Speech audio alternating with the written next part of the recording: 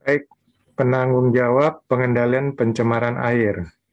Jadi nanti ada penanggung jawab operasional eh, pengendalian pencemaran air juga. Jadi ada PPPA, ada POPA ya.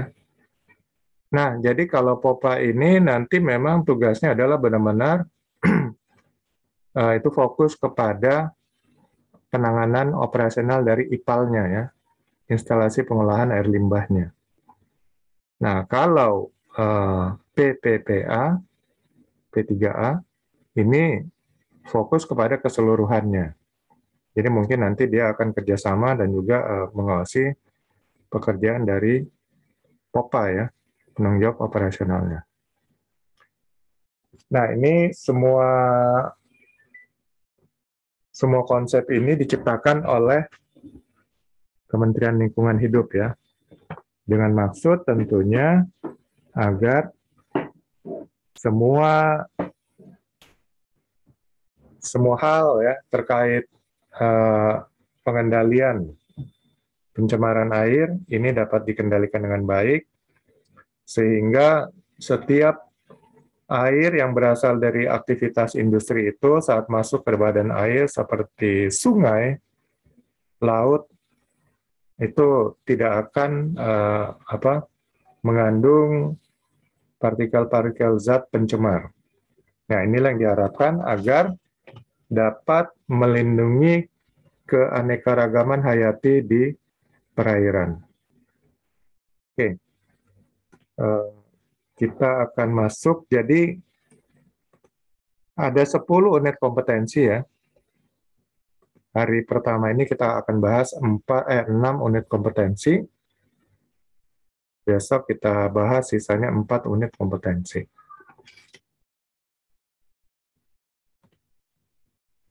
Sebelum kita masuk ke unit kompetensi yang dipersyaratkan oleh BNSP, kita tinjau dulu ya mengenai apa sih itu lingkungan hidup. Jadi kalau kita bicara lingkungan, ini adalah hal-hal yang berada sekitar kita.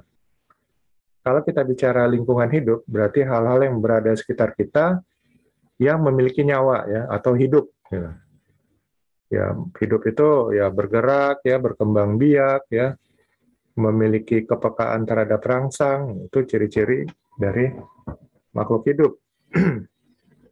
Jadi, selain manusia, tentu ada uh, ekosistem makhluk hidup lainnya, seperti uh, hewan, ya, tumbuh-tumbuhan. Nah, sebagai manusia, kita tidak boleh egois bahwa hak hidup itu hanya dimiliki oleh manusia aja. Tapi memang yang terpenting adalah dalam lingkungan itu tentu manusianya ya. Tapi kita juga harus memperhatikan ekosistem. Karena salah satu daripada anggota ekosistem itu terganggu, akan menimbulkan dampak bagi ekosistem atau makhluk hidup lainnya. Jadi kalau umpamanya uh, tumbuh-tumbuhan terganggu, tentu akan berdampak kepada manusia juga. Ya. Manusia akan uh, mengalami mungkin kekurangan pangan, dan akibatnya juga manusia akan bisa musnah ya. Jadi untuk mempertahankan kelangsungan hidup generasi manusia di masa depan, maka lingkungan hidup ini sudah harus diperhatikan mulai dari sekarang. Ya, jangan terlambat. Makanya diciptakan semacam peribahasa bahwa lingkungan hidup ini adalah titipan dari anak cucu kita titipan dari anak cucu kita di masa depan. Makanya kita hanya minjem aja nih lingkungannya. Jadi ya kalau istilahnya orang minjem itu harus dijaga baik-baik ya akan dipinjam. Nah, untuk itulah masalah lingkungan ini semakin uh, menjadi hal yang sangat penting Bahkan hal ini sudah menjadi pembicaraan rutin dan reguler ya tiap tahun para pemimpin dunia. Jadi KTT atau konferensi tingkat tinggi para pemimpin dunia ini pasti setiap tahun selalu ada untuk membahas masalah lingkungan. Nah, sekarang masalah lingkungan ini juga sudah semakin penting. Sehingga setiap produk, setiap perusahaan yang kurang memperhatikan masalah lingkungannya, tentunya tidak direkomendasikan untuk dibeli produknya. Makanya sekarang ramai-ramai perusahaan selalu bikin tagline ramah lingkungan, ramah lingkungan. Karena manusia semakin sadar bahwa kalau lingkungan tidak dijaga, mungkin 50 atau 100 tahun lagi tidak akan ada kehidupan di muka bumi ini. Ya. nah, masalah-masalah seperti masalah uh, apa? kepadatan penduduk ya. Secara logika aja begini. Bahwa di bumi ini uh, oksigen adalah bahan dasar untuk kehidupan, ya, terutama manusia. Ya, semua semua makhluk hidup lain. Nah, setiap setiap makhluk hidup ini bernafas dan setiap makhluk hidup ini bernafas menggunakan oksigen. Lalu lama kelamaan uh, man, uh, makhluk hidup makin banyak, berarti pengeluaran karbon dioksida ya setiap dia bernafas itu semakin banyak. Sedangkan yang menetralisir karbon dioksida itu adalah uh, tumbuh-tumbuhan ya, tumbuh-tumbuhan hijau berdaun hijau. Ya, dengan proses fotosintesis saat siang hari mereka itu menetralisir CO2-nya dan mengeluarkan oksigen. Nah, dengan makin banyak makhluk hidup, perkotaan dibangun, maka areal kehutanan pun makin semakin berkurang, sehingga sumber produksi oksigen itu semakin sedikit, sedangkan makhluk hidup yang mengeluarkan apa polutan yaitu karbon dioksida semakin banyak. Dan kita bisa lihat ya, akhirnya apa? Akhirnya oksigen akan semakin sedikit bukan? Belum lagi pemanasan global. Jadi pemanasan global ini uh, dikarenakan disebabkan oleh banyaknya industri ya.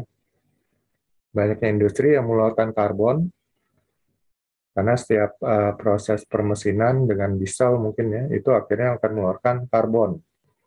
Dan karbon inilah yang kemudian menutupi ya pengeluaran panas dari muka bumi ke ruang angkasa. Sehingga akan terjadi akumulasi panas dan akibatnya uh, temperatur atau suhu permukaan bumi ini semakin naik. Jadi menurut catatan dari dan penelitian dari uh, para ahli lingkungan, bahwa dari tahun 40 ya, 1940 sampai sekarang itu sudah terjadi hampir penambahan kira-kira 6 derajat Celcius. Ini secara rata-rata ya. Secara rata-rata 5 sampai 6 derajat Celcius. Tapi kalau secara per region mungkin kita bisa lihat bahwa penambahan suhu bumi ini semakin semakin besar tahun 85, 1985, saya ke, ke Bandung, kemudian eh, tengah hari ini ya, tengah hari, nongkrong di alun-alun. Itu daerah yang panas tengah kota Bandung. Harus pakai jaket, kalau enggak, enggak pakai jaket kedinginan. Tengah hari, kedinginan. Nah, sekarang, jangankan di tengah-tengah kota Bandung, ya, di daerah yang dulunya sangat dingin seperti di Lembang ya, di Dago. Jangankan tengah hari ya, tengah malam aja itu kipas-kipas kepanasan. Jadi kalau berdasarkan area, maka di Bandung ini peningkatan suhunya lebih dari 5 atau 6 derajat Celcius. Karena menurut saya mungkin peningkatannya bisa sampai 10 atau 12 derajat Celcius ya. Jadi kalau tahun 85 itu mungkin suhu di alun-alun itu tengah hari masih sekitaran 22 derajat Celcius. Kalau sekarang kira-kira 34-35 derajat Celcius. Jadi sudah terjadi peningkatan 12 derajat Celcius. Kalau rata-rata di rata-rata kan memang 5 sampai 6 derajat Celcius. Cuman kan itu eh, rata-rata uh, seluruh bumi tapi kalau daerah-daerah industri saya rasa kenaikannya itu lebih besar. nah, itu dari segi uh, pemanasan global. Dan dampak dari pemanasan global ini es di kutub selatan itu ya benua Antartika akan mencair. Sehingga dengan mencairnya es ini dampaknya juga adalah naiknya permukaan air laut. Dan dampak dari naiknya permukaan air laut ialah daratan akan semakin berkurang. Jadi manusia bertambah, daratan berkurang. Nah, itu itu dampak daripada lingkungan. Dan dampak selanjutnya adalah uh, apa? terjadinya kebocoran lapisan ozon. Ya.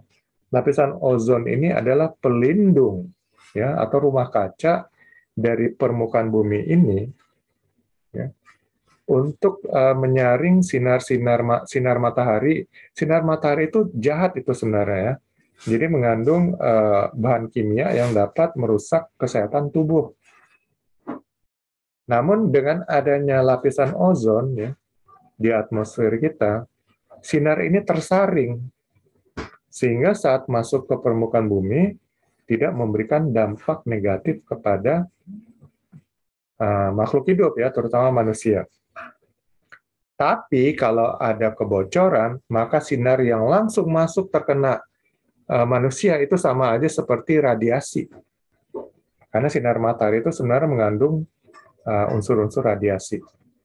Tentu aja akan uh, mengakibatkan penyakit-penyakit ya yang tidak diinginkan oleh manusia. ya, jadi dampaknya besar sekali dengan lingkungan ya. Belum lagi kalau uh, apa um, daratan berkurang dan kemudian ini apa uh, pangan produksi pangan tidak mengikuti pertambahan penduduk manusia, itu akan menimbulkan kelaparan di mana-mana nantinya.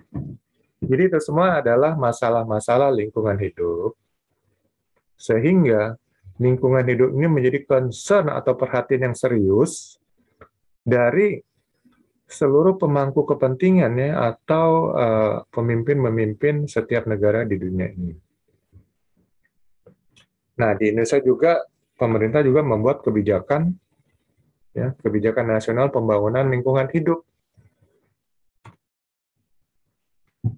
Ya, jadi uh, pemerintah sendiri mengakui belum berhasil pembangunan lingkungan hidup berdasarkan pendekatan ber berwawasan lingkungan hidup ya. Cuman kemarin dimulai 2018 plastik mulai dilarang. Karena apa? Plastik itu susah didaur ulang secara alami. Jadi plastik harus memang didaur ulang secara teknologi. Nah, yang kita lihat adalah orang buang sampah, ya, dan kemudian sampah di mana-mana. Kalau di tempat pembuangan sampah mungkin itu bisa dikumpulkan dan kemudian didaur ulang secara teknologi. Tapi sampah-sampah plastik ini yang tidak terkontrol itu akan mengakibatkan ya dia akan tertimbun di tanah dan kemudian dia akan merusak topsoil daripada tanah. Sehingga tanah tidak menjadi subur karena apa? Dia akan menghalangi masuknya oksigen ke dalam topsoil ya atau permukaan tanah. nah ini akan menimbulkan uh, akibatnya tanaman yang ditanaman tidak menjadi subur dan tanaman yang tidak subur itu tidak akan menghasilkan makanan bagi manusia sehingga akan terjadi kekurangan makanan dan akibatnya manusia akan kelaparan. Itu salah satu penyebab daripada plastik. Banyak lagi penyebab negatif lainnya. Sehingga sekarang plastik ini mulai digantikan dengan yang ramah lingkungan. Artinya ramah lingkungan itu mudah didaur ulang. Nah, itu hanya hanya dari soal plastik loh. Jadi banyak hal-hal lainnya. Makanya pemerintah mengakui memang pembangunan belum uh, melakukan pembangunan berdasarkan wawasan lingkungan. Ya.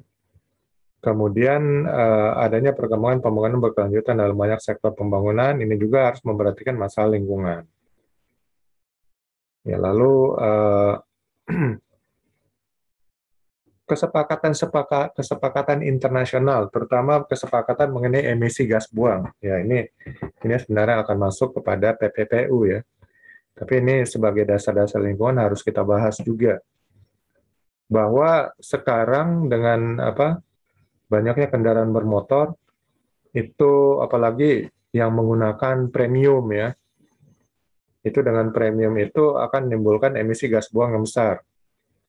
Sehingga sekarang kendaraan motor didesain sehingga uh, bisa sedikit mengurangi emisi tersebut. Namun harus menggunakan bahan bakar yang sesuai juga. Itu bahan bakar seperti kalau premium itu kan RON 88. Jadi itu pengaruh timbalnya dan sekarang diharapkan minimal RON 91. Itu seperti Pertalite ya.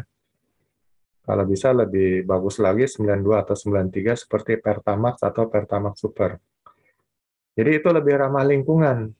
Cuman kan masyarakat memang uh, susah ya untuk diberikan uh, apa sosialisasi sehingga banyak yang masih menolak lah gitu. Karena mereka lebih orientasi kepada harga. Jadi belum sadar lingkungan.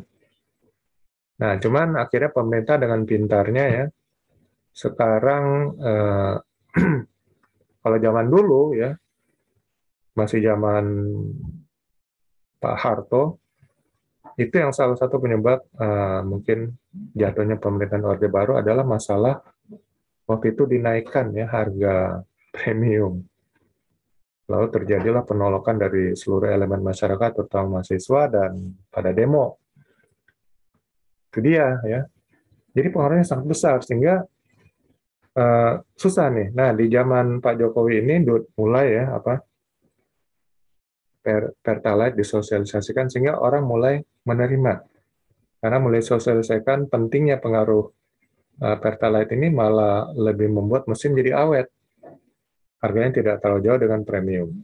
Dan sekarang uh, Pertamina mungkin memberikan diskon khusus sehingga harga premium menjadi sama dengan Pertalite. Dan sedikit demi sedikit, keberadaan premium itu mulai dihilangkan. Sehingga semuanya nanti akan digantikan oleh Pertalite. Yang minimal ya, mungkin ke depannya kita akan pakai semuanya Pertamax ya, RON di atas 91. Nah ini ya, jadi sesuai kesepakatan Euro ya, Euro 1, 2, sekarang udah sampai Euro 4 mungkin ya itu kesepakatan untuk mengurangi emisi gas buang. Jadi soal community development dan CSR juga ini adalah merupakan dasar juga dari lingkungan hidup ya, pembangunan community ya, dan corporate social responsibility. Kemudian uh, permasalahan lingkungan nasional dan global ya, pencemaran lingkungan hidup yaitu pencemaran air, pencemaran udara yang semua disebabkan limbah ya. Dan selain itu ada lagi limbah B3. Di sini kita nggak akan bicarakan limbah B3. Kenapa limbah B3? Limbah B3 itu limbah yang tidak bisa didaur ulang. Nah, itu dia. Sehingga dia akan mencemari lingkungan. Sedangkan limbah-limbah cair, limbah udara ini masih bisa dikendalikan ya, didaur ulang. Kemudian pemborosan pemanfaatan sumber daya alam, ya. penembangan hutan yang tidak terkendali, tidak memiliki izin, ya. pembalakan apa, pembalakan liar, ya. Jadi artinya tidak memiliki izin langsung menebang hutan. Kepedulian masyarakat yang rendah, ya terhadap lingkungan, ya memang susah sekali memang ya. Jadi yang bisa di apa dimanfaatkan oleh pemerintah adalah bagaimana eh, perusahaan perusahaan agar lebih sadar lingkungan. Karena kalau untuk masyarakat edukasinya akan lebih lebih berat. Karena di kalangan masyarakat ini memang uh, beragam ya. Ada yang sudah berpendidikan, bisa mengerti, ada yang pendidikannya rendah yang mungkin akan kurang mengerti kalau dipaksa untuk peduli lingkungan. Kemudian kelangkaan air. Nah, ini akan berhubungan ya. Jadi kalau seandainya semua air tercemar ya, ini akan terjadi kelangkaan air bersih ya, air untuk minum, untuk uh, mencuci dan air untuk uh, apa? mandi.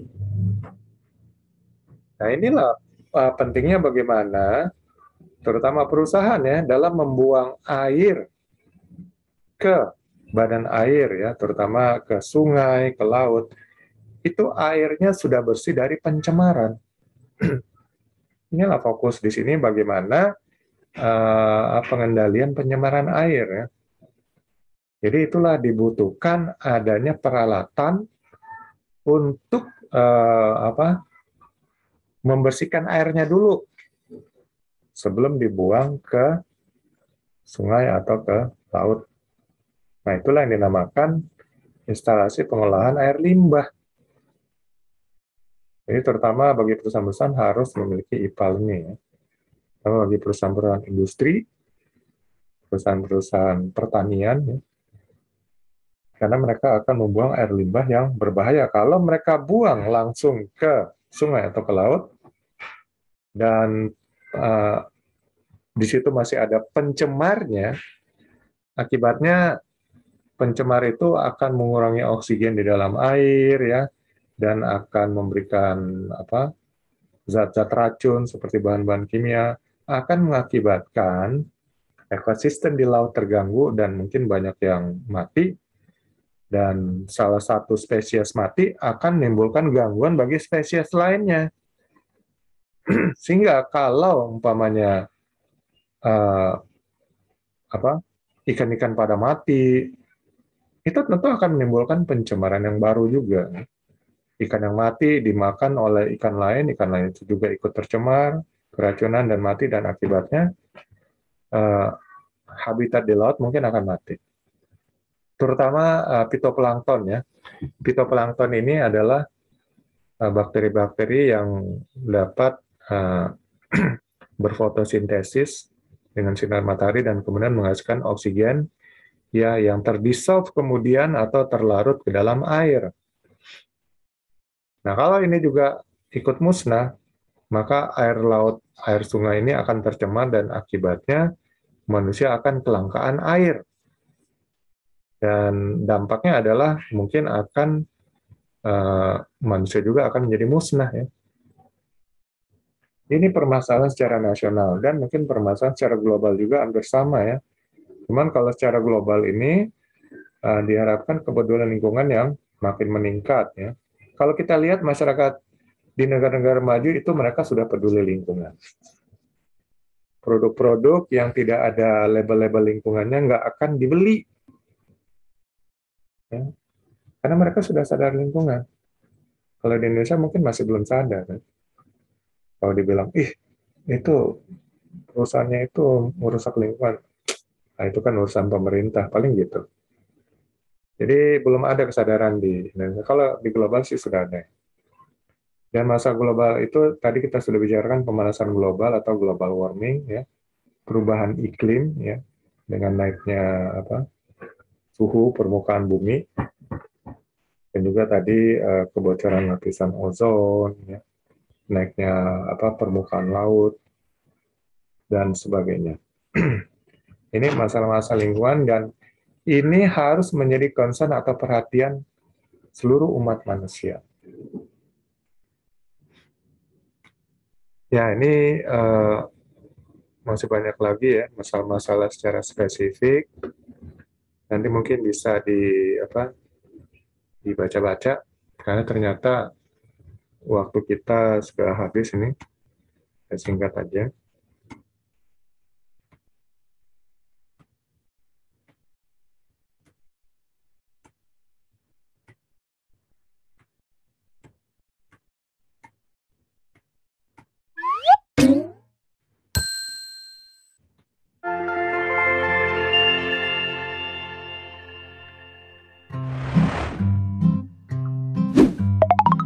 Indonesia merupakan negara dengan sumber daya alam yang melimpah, wilayah yang luas, serta memiliki berbagai macam ragam dan budaya. Tidak lupa dengan keindahan flora dan fauna lainnya. Namun, dengan jumlah penduduk sekitar 268 juta jiwa, Indonesia tidak luput dari banyaknya masalah. Salah satunya ialah kepedulian masyarakat terhadap lingkungan sangatlah kecil.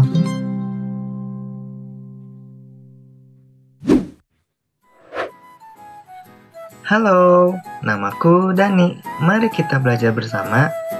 Tahukah kamu apa itu lingkungan? Lingkungan adalah segala sesuatu yang ada di sekitar kita. Dan semua yang mempengaruhi kehidupan di dalamnya, termasuk manusia, hewan, tumbuhan, dan lain-lain.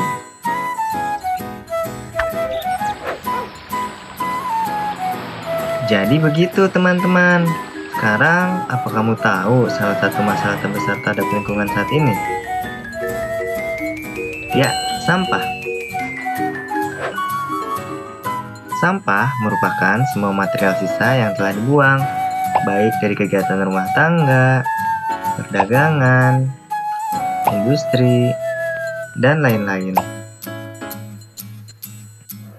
Berdasarkan jenisnya, sampah digolongkan menjadi tiga, yaitu sampah anorganik, sampah organik, dan sampah B3. Sampah organik adalah sampah yang mudah terurai secara alami.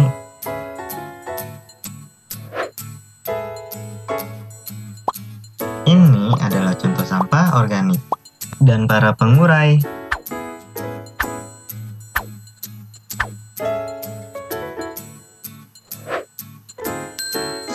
Anorganik adalah sampah yang terdiri dari bahan yang sulit atau tidak mudah terurai secara alami.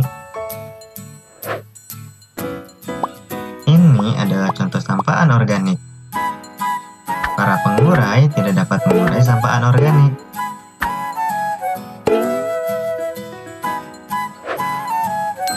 Sampah B3 adalah sampah yang terdiri dari bahan beracun dan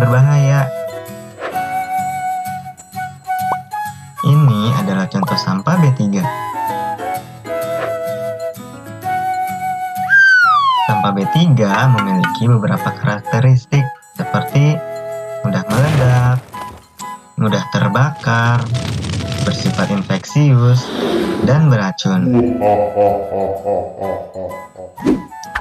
Jika tidak ditangani dengan benar, akan sangat berbahaya bagi manusia dan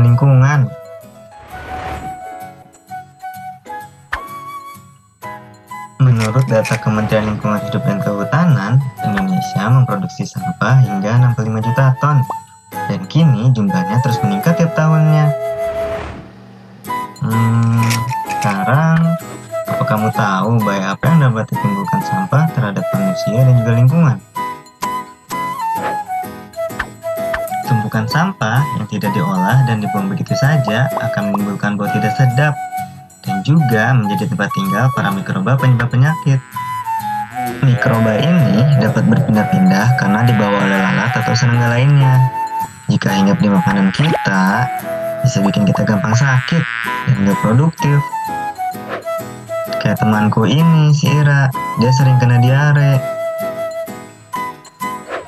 Di sekolah pun, dia kurang bersemangat.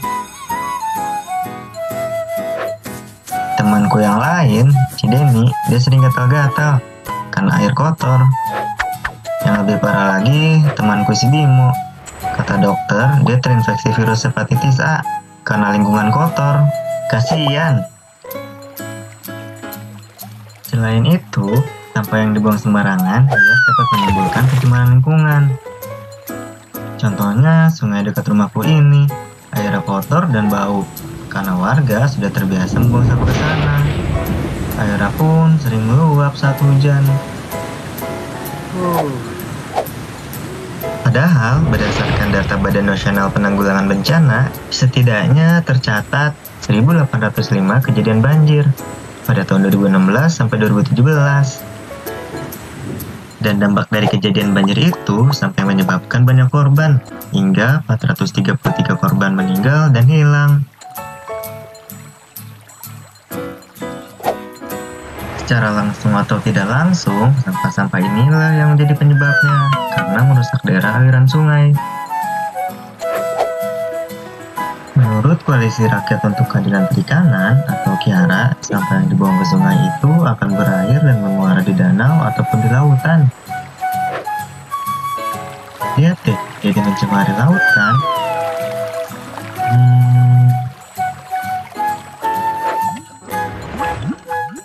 Menurut peneliti, Indonesia membuang limbah plastik ke laut sebanyak 3,2 juta ton. dan berada di urutan kedua sebagai negara penyumbang sampah ke laut terbanyak setelah Cina.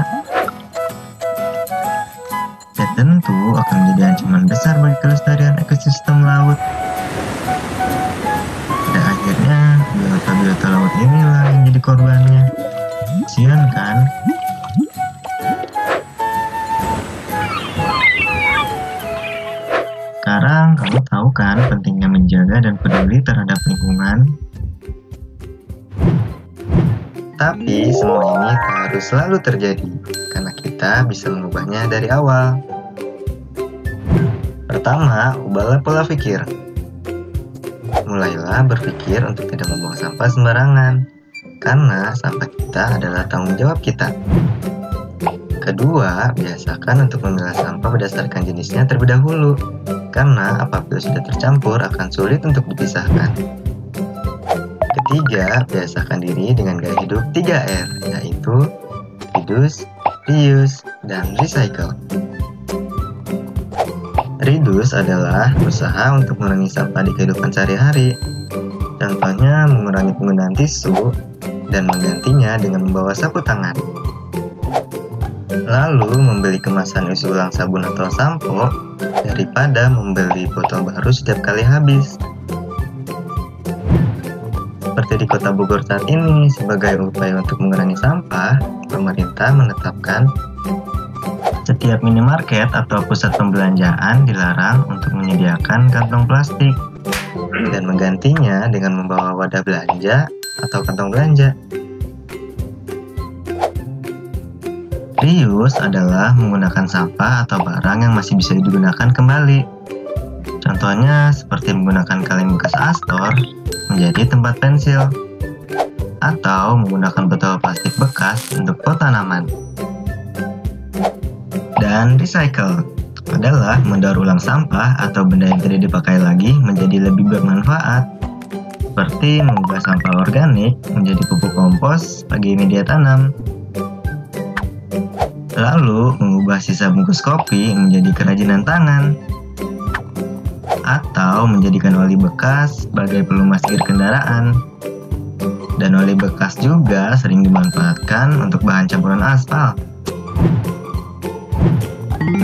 Dengan begitu, kita dapat membantu menyelamatkan lingkungan Indonesia dan membuat bumi kita menjadi lebih baik.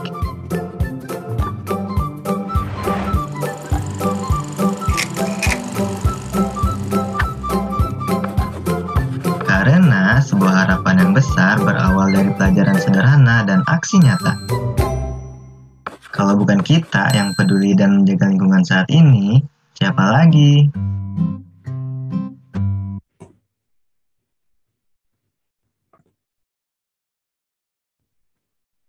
Bapak-bapak sudah memiliki uh, semua peserta sudah memiliki apa semangat ya kepedulian terhadap lingkungan.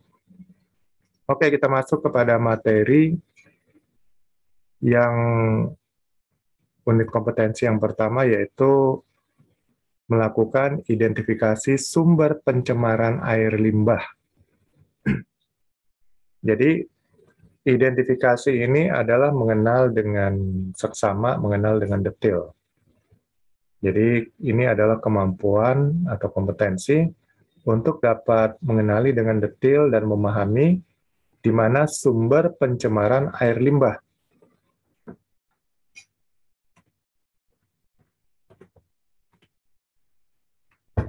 Pencemaran air. Pencemaran air itu adalah perubahan kualitas air ya, baik secara fisik, kimia, dan biologis yang berakibat pada kehidupan mikroorganisme. Ya, misalnya degradasi atau terjadi penurunan kualitas dan adanya bahan-bahan pengotor di badan air, ya, baik itu danau, sungai, ya atau daerah-daerah apa kumpulan air maupun laut. Ya. Pencemaran air adalah masuknya atau dimasukkannya makhluk hidup, zat, energi, dan atau komponen lain ke dalam air oleh kegiatan manusia, sehingga kualitas air turun sampai ke tingkat tertentu yang menyebabkan tidak berfungsi lagi sesuai dengan peruntukannya. Ini definisi berdasarkan peraturan pemerintah nomor 82, 82 tahun 2001. Jadi dengan adanya masuk ya, makhluk hidup ya, makhluk hidup sini mungkin bakteri ya atau apa makhluk-makhluk jasad renik yang berbahaya. Zat ini bisa berupa zat-zat kimia ya, uh, energinya mungkin berupa panas, dan komponen lain ya, berupa partikel-partikel padat atau solid. Nah, ini yang akan kemudian mengganggu uh, ekosistem di dalam air. Dan inilah yang namanya akan mengakibatkan terjadi perubahan kualitas air ya. Baik secara fisik ya, fisik air itu sendiri maupun kimiawinya dan biologisnya atau makhluk-makhluk hidup yang berada dalam air tersebut dan juga berakibat pada kehidupan mikroorganisme, zat pengurai yang ada dalam air.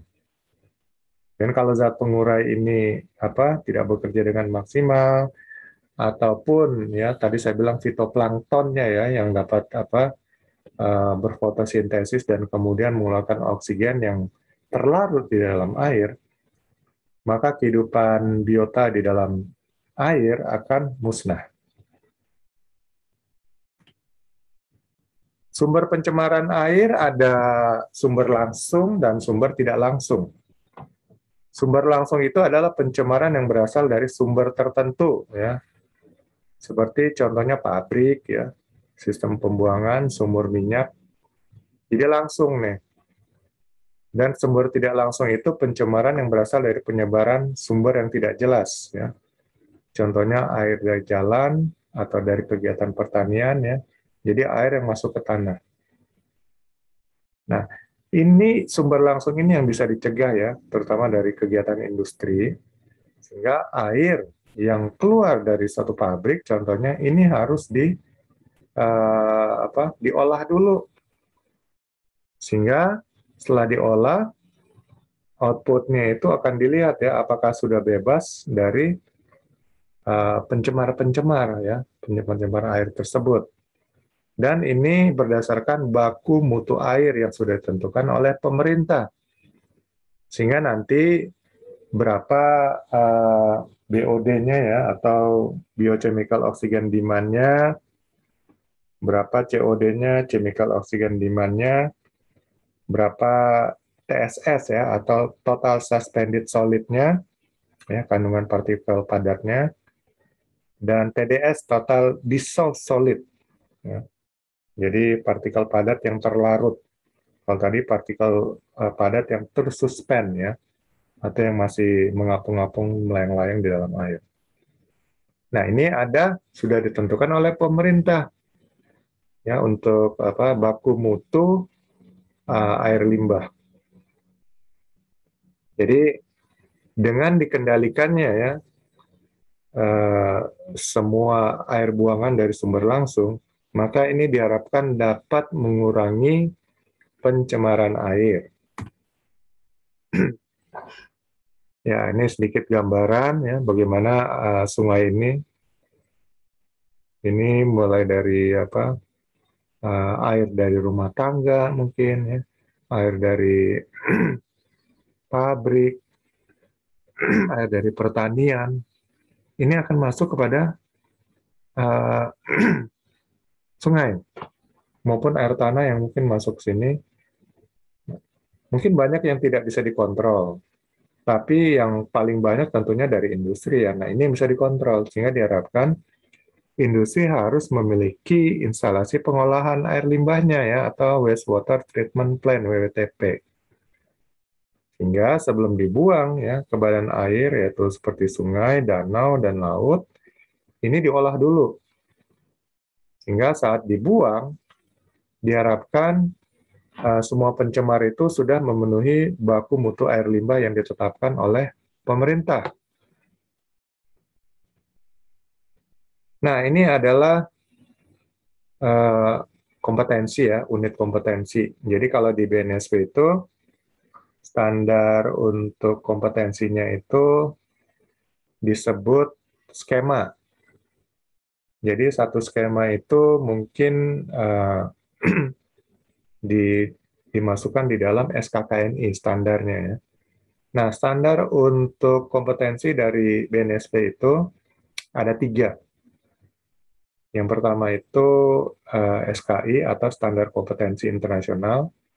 Ini standar yang diajukan oleh suatu asosiasi atau perusahaan atau organisasi untuk uh, didaftarkan di BNSP dan kemudian setelah ditinjau oleh BNSP diterima jadilah itu standar yang diakui. Nah, standar internasional juga diakui ya. Tapi kalau standar internasional ini ya uh, mungkin hanya dipakai oleh perusahaan-perusahaan yang memiliki mitra dengan mitranya di luar negeri ya. Sehingga mereka mungkin menerapkan standar kompetensi internasional. Lalu ada SKK, standar kompetensi khusus. Nah, ini standar-standar yang dibuat oleh instansi pemerintah, oleh industri, oleh perusahaan, asosiasi, dan khusus hanya berlaku di uh, perusahaan, asosiasi, atau instansi pemerintah tersebut. Jadi, tidak mungkin tidak dipakai oleh uh, perusahaan atau instansi atau organisasi lain itu namanya SKK atau standar kompetensi khusus. Ya. Jadi contohnya standar kompetensi yang berlaku di apa, pertambangan minerba ya, seperti POP. Jadi ini hanya berlaku digunakan oleh pertambangan mineral dan batu bara. Nah, ada lagi yang namanya SKKNI atau Standar Kompetensi Kerja Nasional Indonesia. Jadi kalau SKK ini sama ya diajukan oleh suatu apa satu organisasi, satu kumpulan eh, orang-orang ya yang kompeten atau oleh instansi juga. Nah, ini kalau kemudian sudah di apa ditinjau, direview oleh BNSP dan ditetapkan oleh Menteri Tenaga Kerja, maka ini akan berlaku di NSP dan ini berlaku di semua industri. Bisa digunakan oleh semua industri yang berada di wilayah negara Kesatuan Republik Indonesia. Nah, di sini yang dipakai adalah SKKNI ya. Jadi SKKNI ini dikeluarkan, diajukan oleh Kementerian Lingkungan Hidup. Dan ini SKKNI-nya ada di ada di Permen KLHK dan ada di SKKNI-nya yang di BNSP, makanya saya bingung nih. Kalau di Permen KLHK ini nomor 5 ya tahun 2016. Dan kalau di apa? Di BNSP, BNSP-nya ini masuk ke ada yang 291 atau 100, saya lupa nanti saya akan jelaskan lagi. Jadi intinya hampir sama isinya ya. Nah, cuman kita lihat dari kode unitnya, yaitu E 370004 kali titik 001 titik 01. Jadi ini nggak akan sama ya, karena kode unitnya tentunya berbeda, walaupun mungkin judul unitnya sama. Nah, untuk unit kompetensi yang pertama ini ya, jadi ada 10 unit kompetensi yang dipersyaratkan untuk dinyatakan kompeten dalam apa PPPA eh, ini atau eh, penanggung jawab pengendalian pencemaran air. Dan unit yang pertama ini adalah mengidentifikasi sumber pencemaran air limbah. Nah, di sini ada dua elemen kompetensi ya. Jadi satu unit kompetensi ini dibagi dalam elemen kompetensi. Lalu elemen kompetensi ini akan dijelaskan dalam uh, beberapa kriteria unjuk kerja. Jadi elemen kompetensi bagian daripada unit kompetensi ini. Nah, identifikasi sumber pencemaran air limbah dibagi dua elemen kompetensi. Yang pertama menentukan potensi sumber pencemaran air limbah industri. Yang kedua, melaporkan hasil penentuan potensi sumber pencemaran air limbah industri. Nah, elemen kompetensi yang pertama menentukan potensi sumber pencemaran air limbah industri. Jadi harus tahu nih ya, harus menjadi skill dari uh, seorang PPPPA atau pengendali penanggung jawab pengendalian pencemaran air harus tahu di mana kira-kira potensi pencemaran air ya yang ada di tempat kerjanya. Kriteria unjuk kerjanya, data potensi sumber pencemaran air limbah industri diidentifikasi sesuai kebutuhan. Jadi nanti dia akan melihat sendiri ya, uh, air limbah buangan dari perusahaan tempatnya bekerja, ini apakah mengandung potensi uh, pencemaran air. Kemudian data potensi sumber pencemaran air limbah industri dikelompokkan sesuai dengan potensi pencemarannya. Jadi nanti Eh, setelah terdapat data-data dan kemudian dilakukan pengujian-pengujian, maka dia bisa menganalisa dan mengelompokkan ya, apakah ini termasuk kepada apa uh, pencemaran uh, yang termasuk BOD, COD, TSS, TDS dan sebagainya, dan apakah ini termasuk pencemaran secara fisik, secara apa kimia maupun secara biologis. Secara fisik itu tentu akan ada perubahan warna air, ya, perubahan bau air.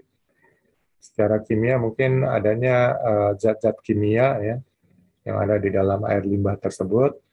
Secara biologis mungkin adanya uh, mikroba-mikroba ya atau bakteri-bakteri yang ada di dalam air limbah tersebut.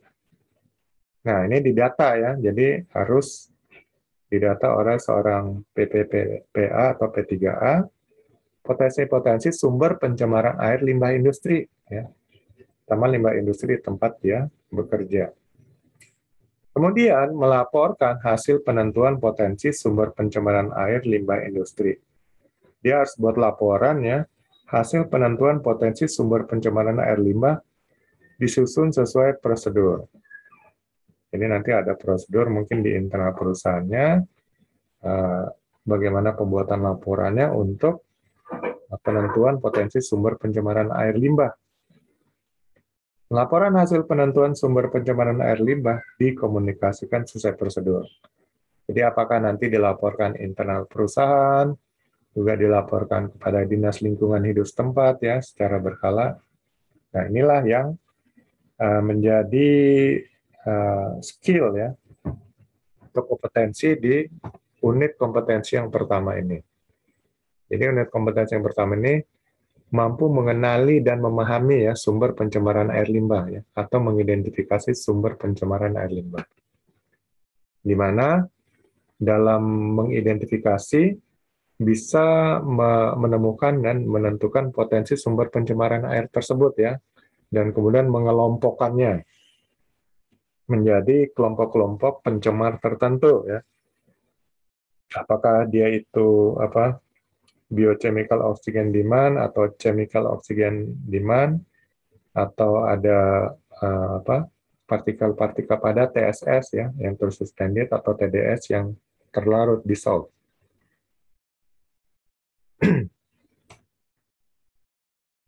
Oke, jadi di sini saya kelompokkan knowledge dan skill-nya jadi harus paham ya arti identifikasi.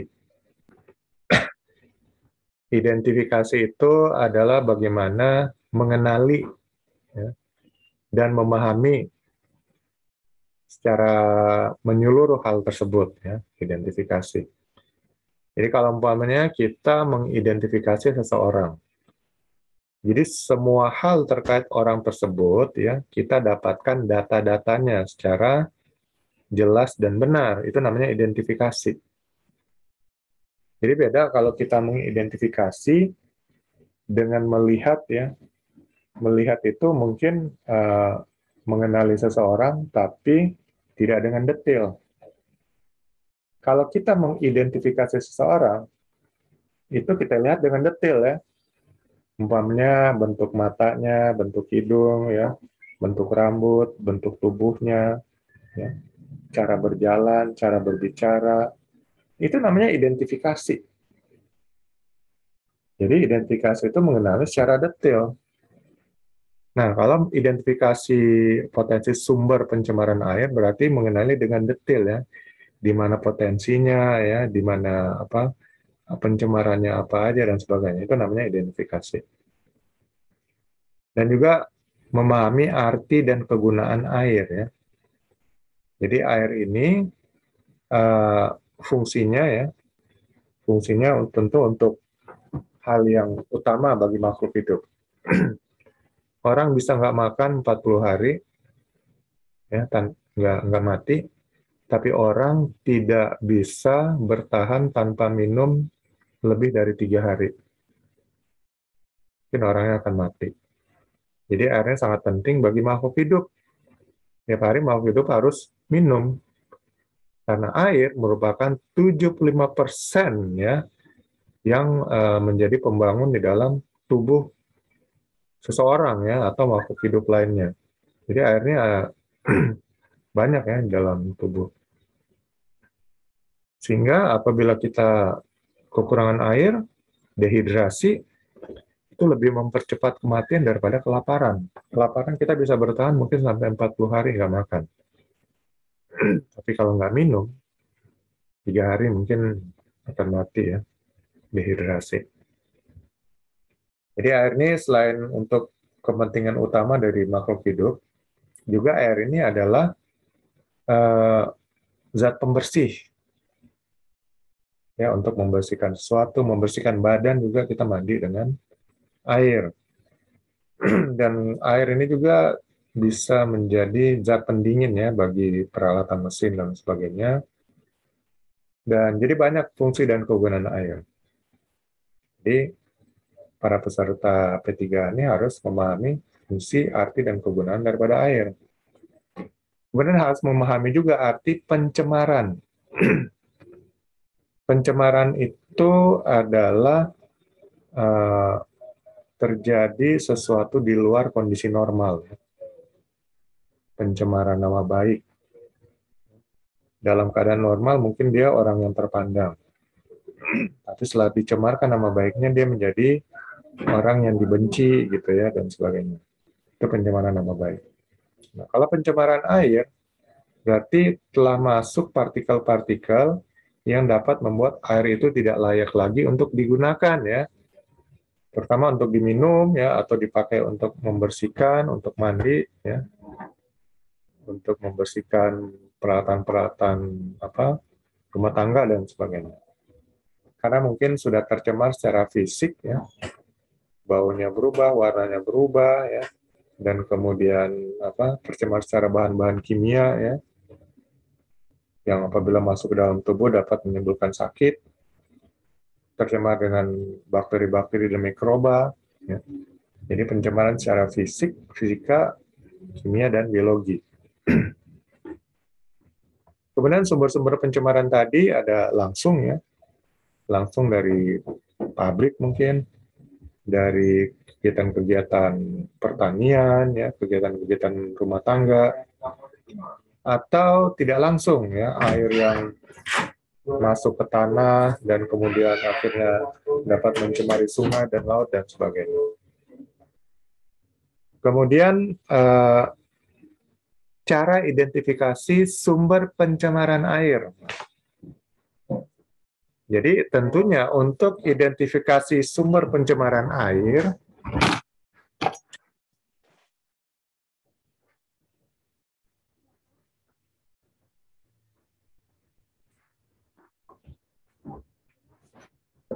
identifikasi sumber pencemaran air harus diambil sampelnya dulu ya dari air tersebut dan kemudian dianalisa secara laboratorium untuk mengidentifikasi apa saja ya pencemar yang ada dalam air tersebut.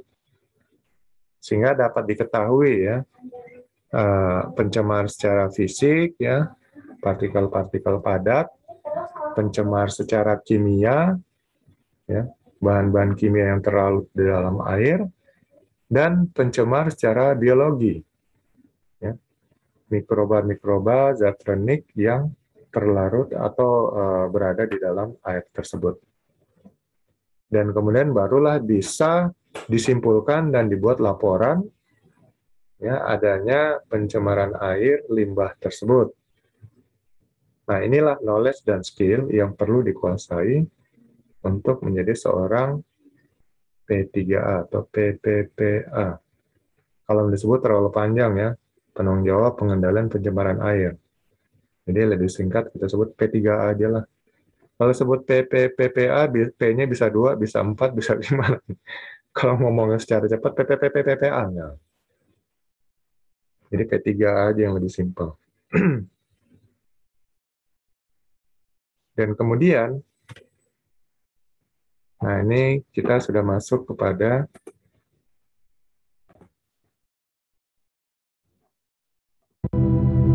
Dalam kehidupan sehari-hari, makhluk hidup selalu membutuhkan air, termasuk manusia.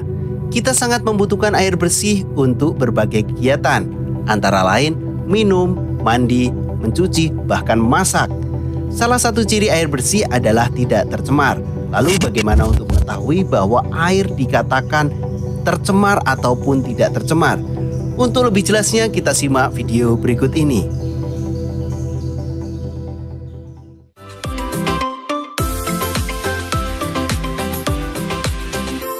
Jangan lupa subscribe channel Mr. Klik agar rekan-rekan mendapatkan update video pembelajaran, tutorial, dan sekilas tentang perkembangan dunia pendidikan.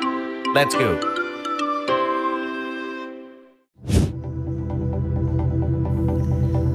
Air bisa dikatakan tercemar apabila air itu sudah berubah, baik warna, bau, maupun rasa.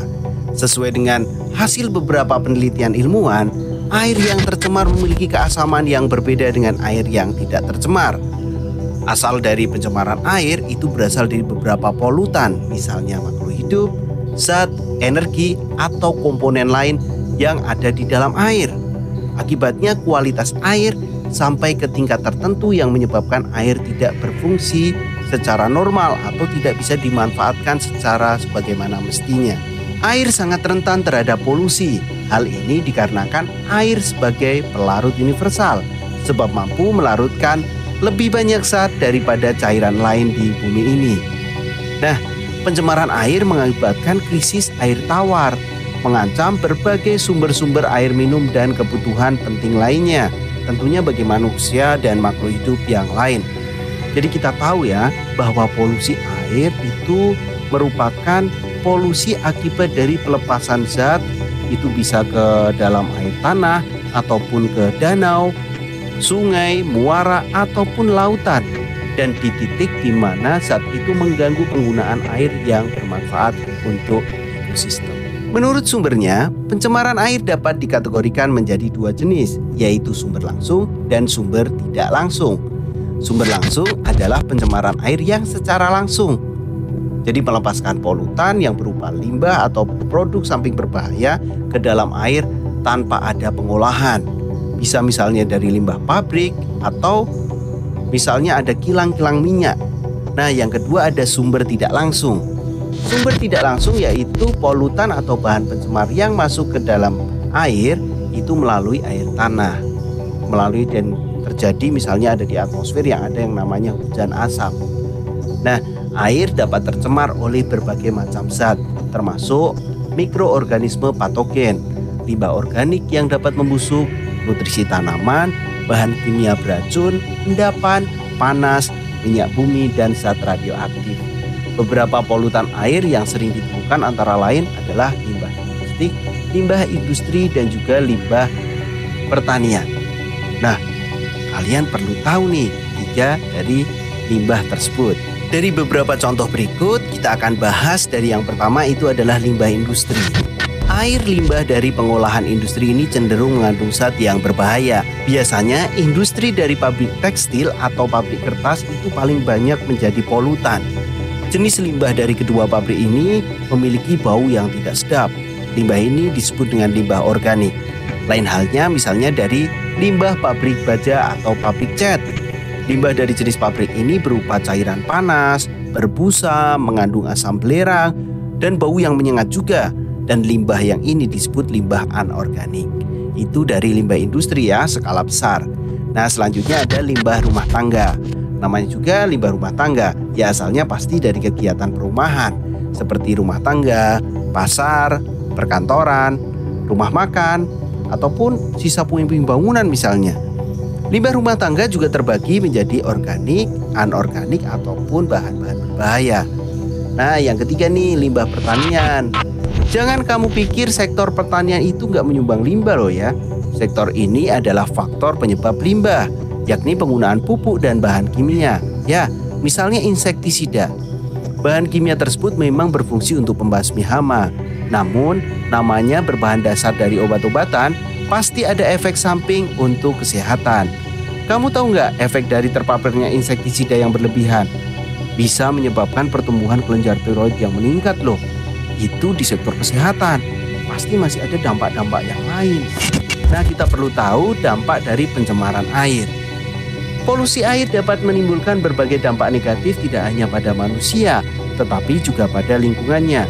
Terdapat beberapa dampak pencemaran air, antara lain penyakit pada manusia, kerusakan ekosistem, eutrofikasi, bahkan gangguan rantai makanan. Yang pertama adalah penyakit pada manusia. Minum atau mengkonsumsi air yang tercemar akan berakibat buruk pada kesehatan. Air yang tercemar dapat menyebabkan penyakit seperti tifus, kolera, hepatitis, bahkan berbagai penyakit lainnya. Yang kedua adalah kerusakan ekosistem yang sangat dinamis merespon perubahan lingkungan, bahkan yang sekecil apa pun, polusi dapat menyebabkan seluruh ekosistem rusak jika dibiarkan tidak terkendali.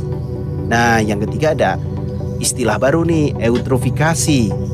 Nah, di sini masuknya bahan kimia dalam badan air yang mendorong pertumbuhan alga atau gangga. Ini pasti akibat dari sektor pertanian tadi. Alga ini merupakan lapisan di atas kolam atau danau lalu mengurangi oksigen dalam badan air. Akibatnya kehidupan perairan akan terdampak dengan berkurangnya kadar oksigen. Yang keempat adalah gangguan rantai makanan. Polusi air menyebabkan dampak negatif pada rantai makanan. Gangguan pada rantai makanan terjadi ketika racun dan polutan dalam air dikonsumsi oleh hewan air. Kemudian dikonsumsi oleh konsumen selanjutnya hewan selanjutnya ataupun dikonsumsi oleh manusia. Ini menyebabkan penyakit juga. Nah, lalu bagaimana pencegahan pencemaran air? Cara terbaik untuk pencegahan pencemaran air dalam skala besar adalah dengan mencoba dan mengurangi efek berbahaya. Ada pula perubahan kecil yang bisa kita lakukan sebagai manusia untuk melindungi diri dari kemungkinan kelangkaan pasokan air bersih di masa depan. Beberapa upaya yang bisa dilakukan untuk mencegah pencemaran air antara lain yang pertama adalah hemat air. Pemborosan air itu merupakan masalah utama di dunia ini. Manusia baru menyadari permasalahan ini ketika nanti pasokan air itu menipis. Perubahan kecil berupa hemat air yang dapat dilakukan oleh manusia diyakini akan membuat sebuah perbedaan yang besar. Dan nanti tentunya akan mengurangi pencemaran air. Yang kedua adalah pengolahan limbah yang lebih baik. Mengolah limbah industri sebelum membuangnya ke badan air, ke saluran air, itu bisa membantu mengurangi polusi air dalam skala yang besar. Pertanian atau industri lain dapat menggunakan kembali air limbah ini dengan mengurangi kandungan racunnya tentunya. Yang ketiga adalah menggunakan produk ramah lingkungan. Penggunaan produk ramah lingkungan maksudnya dengan menggunakan produk yang mudah larut, yang tidak terus menjadi polutan. Manusia dapat mengurangi jumlah polusi air yang disebabkan oleh rumah tangga dengan penggunaan produk yang ramah lingkungan. Perlu sahabat ingat nih, dalam menangani limbah, baik dalam bentuk padat ataupun cair, tetap memperhatikan prinsip ekologi ya, yang dikenal dengan 4R. Apa itu 4R? Bukan cetak foto ya, tapi 4R itu singkatan dari RRRR ada recycle atau daur ulang, ada reuse itu penggunaan ulang, ada reduce itu pengurangan penggunaan atau repair, ada perbaikan. Sekarang kalian tahu kan penyebab, dampak dan cara dari pencemaran air. Semoga menambah pemahaman untuk sahabat semua. Berikut adalah ulasan tentang pencemaran air. Bagi sahabat yang membutuhkan resum, dapat mendownload di kolom deskripsi. Oke, kita masuk ke unit kompetensi yang kedua, karakteristik sumber pencemaran air limbah. Jadi karakteristik atau sifat-sifat khusus ya. Sifat-sifat khusus sumber pencemaran air limbah. Apa saja sumber pencemaran air? Ya, tadi sudah kita bahas ini ya, sumber langsung, sumber tidak langsung, sumber langsung dari pabrik, sistem buangan, sumber minyak, sumber tidak langsung, pencemaran berasal dari penyebaran sumber yang nggak jelas, ya, air dari jalan, secara ke tanah, dari pertanian, dan sebagainya. Tapi ini nggak banyak. Yang paling banyak tuh dari pabrik, rumah tangga, ya, industri, dan sebagainya. Nah, sumber pencemaran air, ya.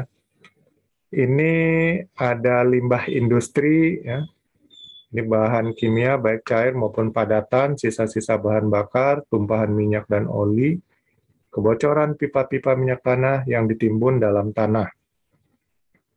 Kemudian perusakan lahan hijau atau hutan akibat dibangunnya perumahan ya dan bangunan-bangunan. Kemudian limbah pertanian. Limbah pertanian yaitu pembakaran lahan dan pestisida lalu limbah pengolahan kayu, kemudian penggunaan bom oleh nelayan dalam mencari ikan di laut, ya. Lalu dalam rumah tangga ini limbah cair seperti sisa mandi, ya MCK, sampah padatan seperti plastik, gelas, kaleng, batu baterai, sampah cair seperti deterjen dan sampah organik seperti sisa-sisa makanan dan sayuran. Jadi ini semua merupakan bagian dari sumber pencemaran air. Apa penyebab pencemaran air? Penyebabnya meningkatnya kandungan nutrien dapat mengarah pada etrofikasi. Tadi ada sebut-sebut etrofikasi ya. Jadi seperti apa? nggak alga ya atau apa jamur dan sebagainya. Dan mereka ini yang mengurangi kadar oksigen. Ya. Semakin banyak mereka, mereka akan menyerap uh, eh, DO ya atau dissolved oksigen atau oksigen terlarut ya dalam apa area apa air tersebut seperti di sungai, di danau ya. Dan akibatnya habitat uh, di dalam air tersebut akan kurangan oksigen. Ini akan mempengaruhi ekosistem di dalam air tersebut. Kemudian sampah organik ya seperti air comberan ya sewage menyebabkan peningkatan kebutuhan oksigen pada air yang menerimanya yang mengarah pada berkurangnya oksigen. Jadi sampah-sampah organik ini dapat menyebabkan kekurangan oksigen. Kemudian industri membuang berbagai macam polutan ke dalam air ya. Ini zat yang membuat polusi ya polutan. Ke dalam air limbahnya seperti logam berat ya, toksik, organik, minyak, nutrien, dan padatan. Air limbah tersebut memiliki efek termal ya, atau panas, terutama yang dikeluarkan oleh pembangkit listrik yang dapat juga mengurangi kadar oksigen di dalam air. Juga limbah pabrik ini mengalir ke sungai ya, dan akibatnya sungai ini juga jadi tercemar. Jadi ya penyebab-penyebab pencemaran air adalah hasil daripada kegiatan manusia ya baik di rumah tangga, baik di, industri tempat kerja. Ya. Dan ini kalau tidak diolah dulu langsung dibuang ke badan sungai seperti atau saluran air seperti sungai, danau, ya laut, tentu akan menyebabkan terjadinya pencemaran air. Dalam skala kecil mungkin tidak berdampak langsung kepada manusia ya atau dalam waktu singkat, tapi lama kelamaan tentu akan berdampak.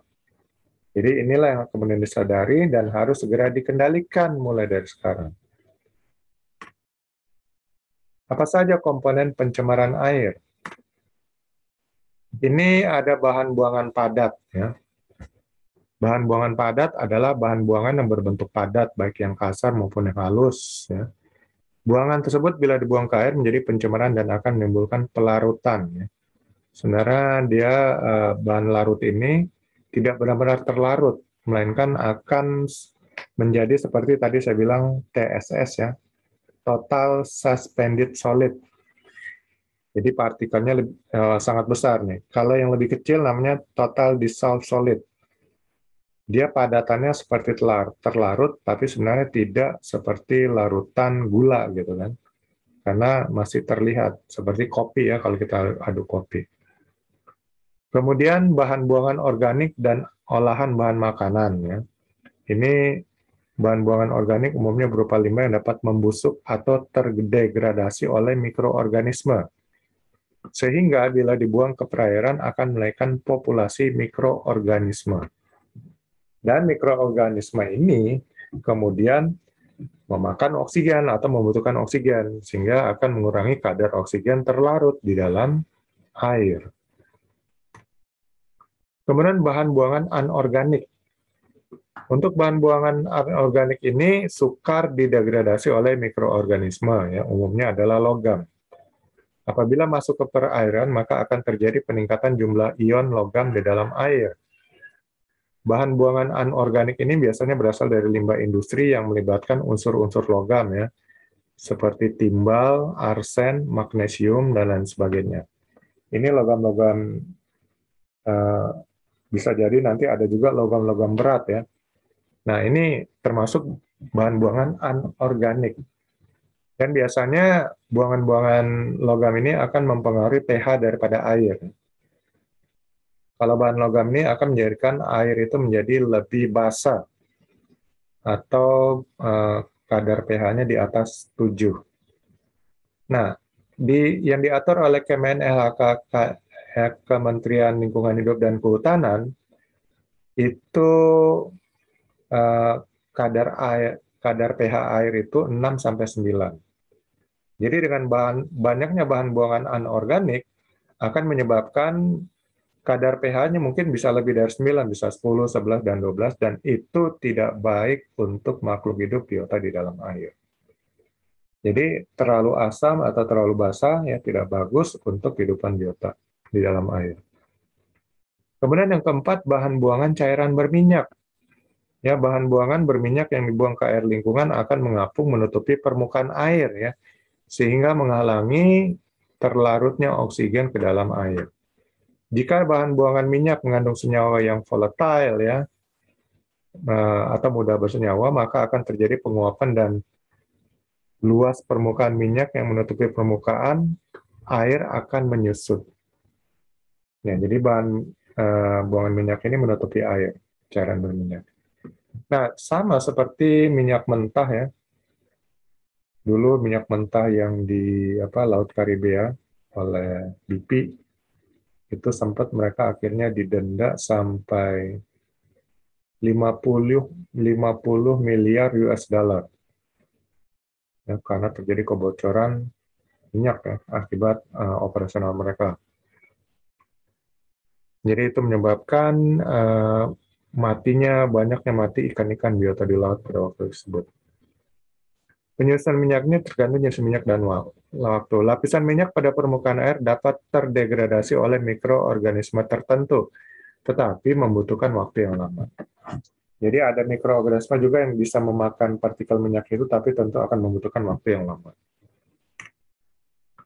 Kemudian yang kelima, bahan buangan berupa panas. ya.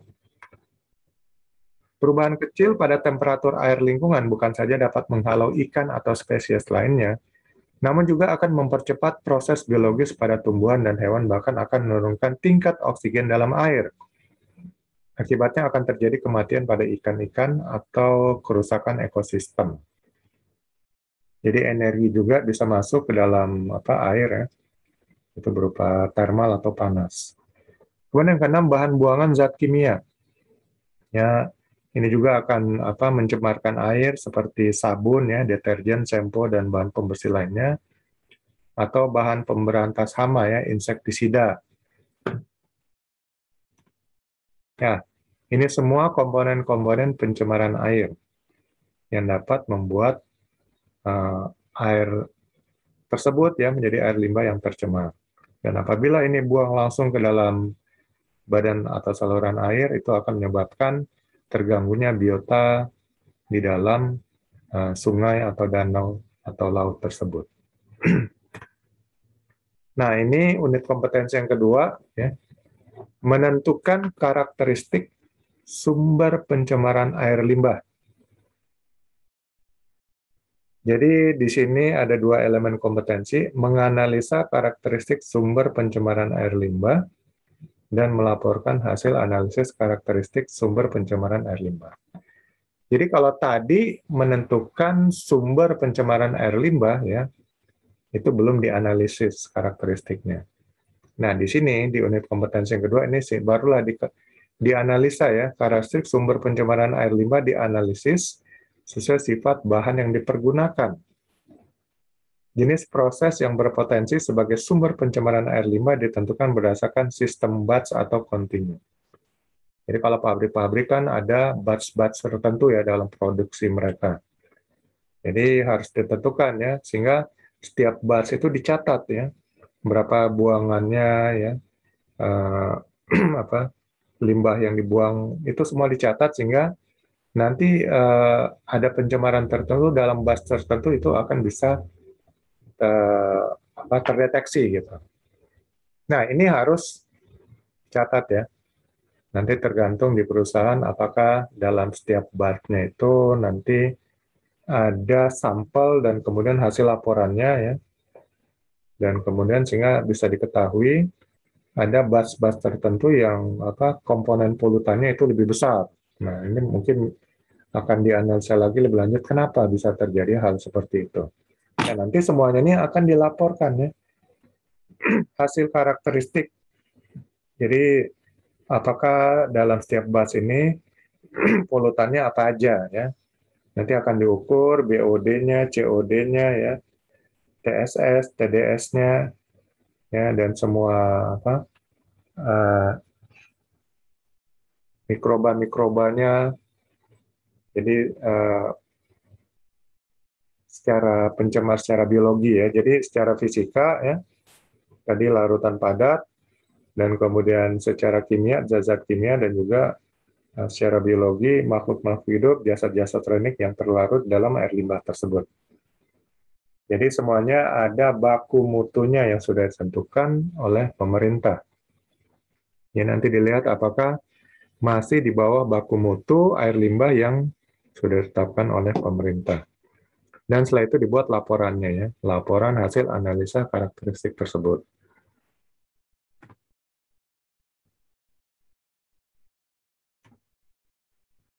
Jadi di sini knowledge dan skillnya harus dikuasai adalah karak paham ya arti karakteristik ya.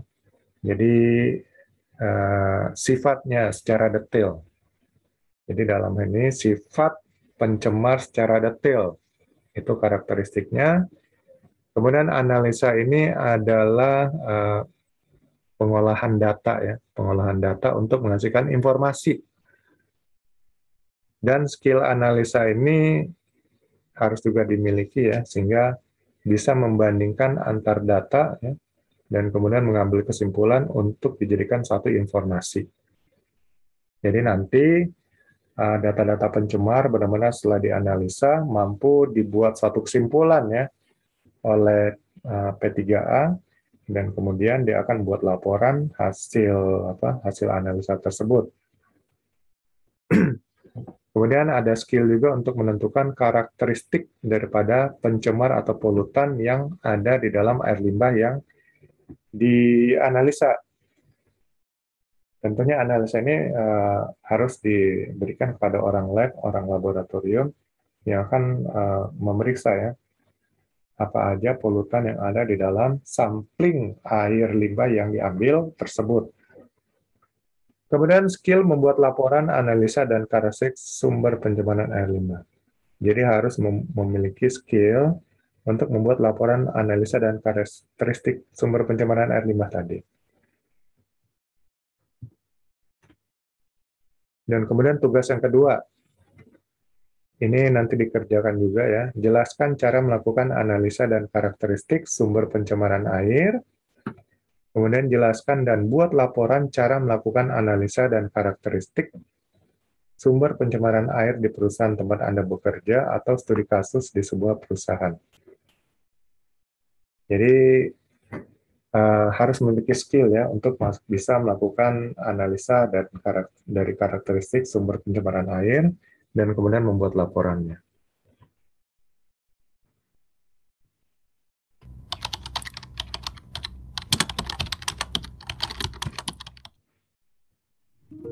Baik, Assalamualaikum warahmatullahi wabarakatuh. Pada kesempatan kali ini saya akan menjelaskan materi tentang karakteristik limbah cair ya. Adapun cakupan dari materi yang akan saya bawakan kali ini adalah kita akan mempelajari karakteristiknya seperti apa Baku mutunya dan parameter pengujian dari limbah cair itu sendiri.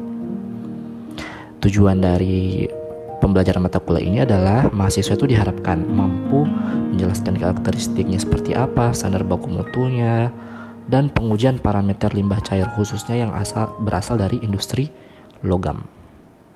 Ya, pertama-tama kita harus ketahui terlebih dahulu apa itu limbah cair. Menurut Environment Protection Agency tahun 1977, wastewater is water carrying dissolved or suspended solid from homes, farms, businesses, and industries. Jadi wastewater atau limbah adalah air yang dibawa atau air yang membawa berupa dissolve dan suspended. Apa itu dissolve? Dissolve itu adalah terlarut sedangkan suspended adalah suspensi. Jadi limbah ini membawa dua jenis padatan yakni padatan terlarut dan padatan tersuspensi yang berasal dari rumah, pertanian, atau bisnis dan industri. Nah, itu menurut dari Environment Protection Agency. Sementara pengertian yang lain mengatakan bahwa limbah cair adalah limbah hasil buangan dari domestik atau industri dengan komposisi lebih dari 90% adalah air dan selebihnya adalah padatan yang dapat berupa TDS dan TSS. Ingat, jadi kata kunci dari pengertian ini adalah komposisi lebih dari 90% itu merupakan air. Nah, air limbah itu sendiri karena dia memiliki lebih dari 90% air sehingga sisanya itu adalah bahan padat. Bahan padat ini dapat berupa organik dan anorganik. Ini dapat kita kategorikan sebagai suspensi dan terlarut. Untuk suspensi kita sering beri eh, singkatan berupa TSS sedangkan terlarut kita beri singkatan sebagai TDS.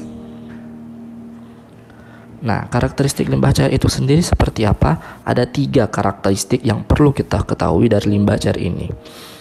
Ada karakteristik secara fisik atau fisika, secara kimia, secara biologi. Secara fisik ada suhu, bau, rasa, warna, TDS yang tadi sudah kita jelaskan yaitu total dissolved solid dan TSS adalah total suspended solid. Nah, untuk kimia sendiri terdiri atas senyawa organik dan anorganik. Untuk organiknya sendiri itu banyak mengandung minyak, karbohidrat, nitrat, sulfat, alkohol, anorganik, klorida, sulfur, fosfor, logam berat dan lain-lainnya. Ini semua merupakan karakteristik kimia. Nah, untuk biologi tentu yang menjadi parameter adalah ada tidaknya bakteri atau virus atau ganggang dan lain-lain sebagainya yang terkandung dalam suatu perairan tersebut. Nah, di antara semua karakteristik ini itu tentunya ada nilai-nilai atau angka yang menjadi ambang batas. Berapa nilai yang diperbolehkan yang harus ada terhadap semua karakteristik ini? Itulah yang disebut dengan baku mutu. Baku mutu dalam hal ini karena kita menggunakan sampel uh, objek berupa limbah cair maka disebut baku mutu limbah cair.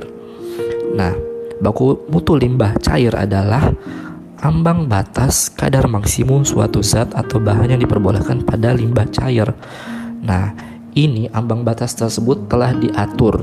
Sudah ada regulasinya yang telah dikeluarkan oleh pemerintah Republik Indonesia dalam hal ini pemerintah dari kementerian-kementerian terkait, yakni Kementerian Lingkungan Hidup, Lingkungan Hidup dan Kehutanan dan juga beberapa di antaranya adalah dari Menteri Kesehatan. Mereka semua telah menetapkan angka-angka ambang batas terhadap semua karakteristik fisika, kimia, dan biologi yang terdapat pada limbah cair ini. Itu semua sudah diatur salah satunya pada Permen LH Peraturan Menteri Lingkungan Hidup Nomor 3 Tahun 2010, Peraturan Menteri Lingkungan Hidup Nomor 5 Tahun 2014 dan Permen Peraturan Menteri Lingkungan Hidup dan Kehutanan Nomor 68 Tahun 2016.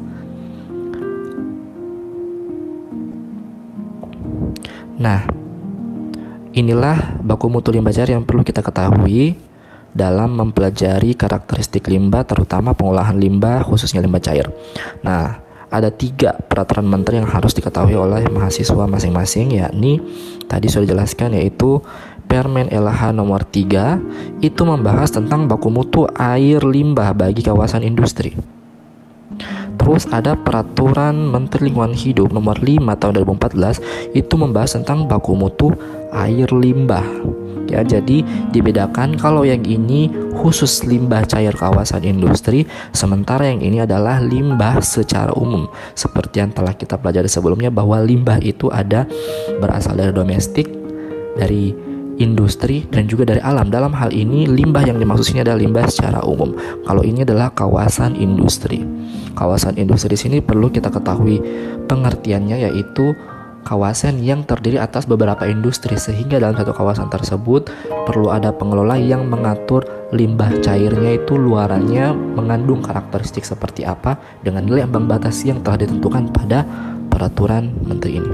Selain itu juga pada Permen LH dan Kehutanan nomor 68 tahun 2016 itu membahas tentang baku mutu air limbah domestik. Jadi dalam hal ini di peraturan ini hanya khusus membahas baku mutu air limbah domestik. Seperti apa itu limbah domestik? Ya seperti kita telah kita bahas kemarin yakni berasal dari rumah sakit, dari perhotelan, dari perumahan, dari apartemen, dari berbagai tempat-tempat bisnis atau tempat-tempat umum lainnya itu adalah jenis dari limbah domestik dan itu diatur dalam peraturan ini. Nah, itu tadi untuk baku mutu limbah cair. Selanjutnya ada juga yang namanya baku mutu air. Apa itu?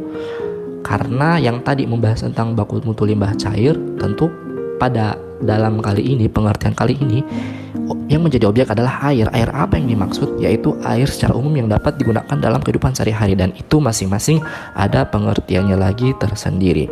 Dalam peraturan Menteri Kesehatan nomor 32 tahun 2017 itu membahas tentang standar baku mutu kesehatan lingkungan dan persyaratan kesehatan air untuk keperluan hygiene sanitasi, kolam renang, solus per aqua dan permandian umum. Jadi pada saat kita mau mandi, mau cuci piring, cuci tangan, cuci muka, uh, untuk bermandi di kolam renang, permandian umum itu semua sudah disyaratkan. Air seperti apa sih yang diperbolehkan? Uh, air seperti apa sih yang disyaratkan yang baru dapat dikatakan layak untuk kita gunakan untuk keperluan tersebut.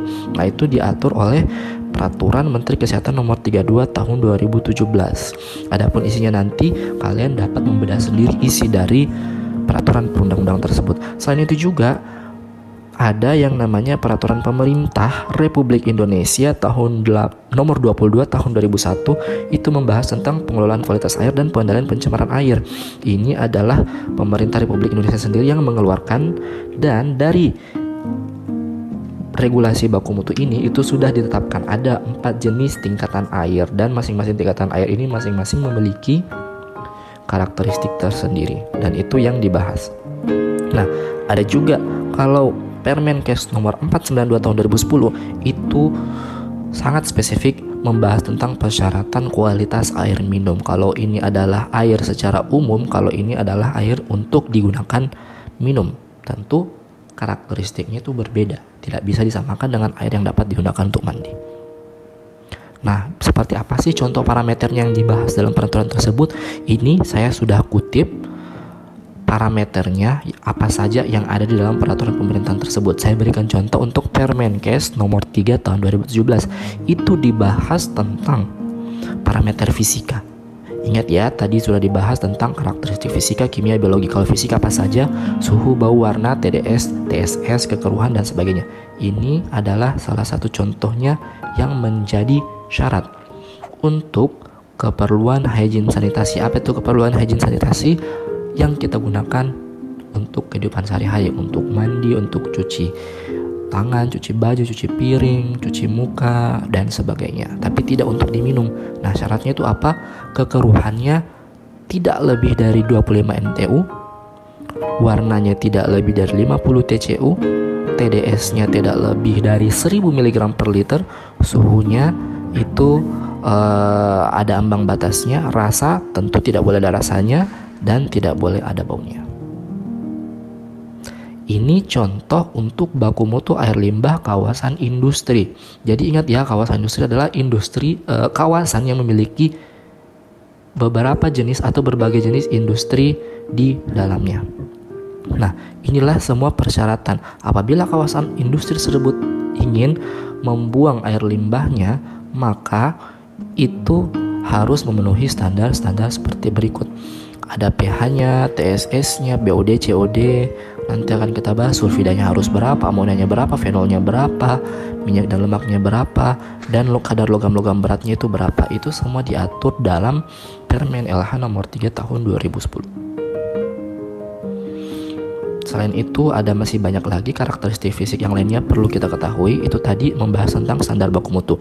Selanjutnya untuk karakteristik fisik, apa itu TDS, TSS, bau, suhu, warna, kekeruhan, dan sebagainya akan kita bahas pada video selanjutnya.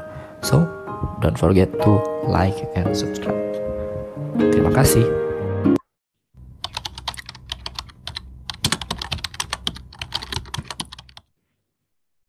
Ya, baik, kita kembali lagi untuk parameter dan karakteristik dari suatu limbah cair itu. Tadi sebelumnya sudah dijelaskan bahwa karakteristik itu ada tiga, fisika, kimia, dan biologi. Untuk kali ini saya akan menjelaskan karakteristik fisik dari suatu limbah cair. Ada total zat padat, TDS, TSS, kemudian bau, suhu, warna, dan di sini juga ada yang perlu saya tambahkan yaitu kekeruhan dan pH. Ini semua adalah karakteristik fisik dari suatu limbah cair. Nah, yang pertama kita mau bahas dulu apa itu TSS. Ya, TSS itu adalah singkatan dari Total Suspended Solid, solid atau total padatan yang tersuspensi. Nah, dari katanya ini kita bisa menganalisa ada padatan, ada tersuspensi. Berarti padatan yang merupakan suspensi, ya. Masih ingat waktu belajar kimia dasar, ada tiga jenis campuran larutan, koloid, dan suspensi. Suspensi adalah di antara ketiga itu merupakan yang e, memiliki partikel terbesar sehingga dapat dilihat oleh mata. Nah, nah si TDS itu TSS itu sendiri merupakan jumlah padatan tersuspensi di dalam satu liter air. Jadi satuannya miligram per liter. Nah, padatan tersuspensi terdiri atas partikel-partikel yang ukurannya lebih kecil dari sedimen, tidak larut dalam air dan tidak dapat langsung mengendap yang menyebabkan kekeruhan air. Jadi kalau misalkan kita mendapati suatu air kita atau limbah kita itu keruh warna coklat dan sebagainya itu tidak lain mengandung suspended atau padatan-padatan yang tersuspensi. Nah, padatan tersuspensi total ini adalah bahan-bahan yang memiliki diameter lebih dari 1 mikrometer yang tertahan pada saringan melipor dengan diameter pori 0,45 mikrometer. Jadi kalau misalkan kita menggunakan kertas saring seperti yang ada di laboratorium, kemudian menyaring limbahnya dan kebetulan air yang kita saring tersebut sampelnya adalah air yang cukup uh, kotor berwarna coklat, otomatis di kertas saringannya akan banyak sekali yang tertahan. Dan itulah total suspended solidnya. Apa bedanya dengan total dissolved solid? Total dissolved solid adalah padatan yang terlarut atau padatan terlarut total. Merupakan bahan yang terlarut dengan ukuran diameter partikel kurang dari 1 nanometer atau satu uh, yang lebih kecil lagi dong. Kalau tadi TSS itu adalah lebih dari 1 mikrometer, kalau TDS itu kurang dari 1 nanometer berarti kelihatan dong. Satu nanometer aja nggak cukup. Berarti kecil sekali partikelnya. Sehingga apa yang terjadi kalau kita menggunakan kertas saring? Nah kalau kita saring sampelnya menggunakan kertas saring otomatis semua partikel terlarut itu lolos di bawah saringan itu. Tidak ada yang tertahan karena partikelnya kecil cuman satu nanometer.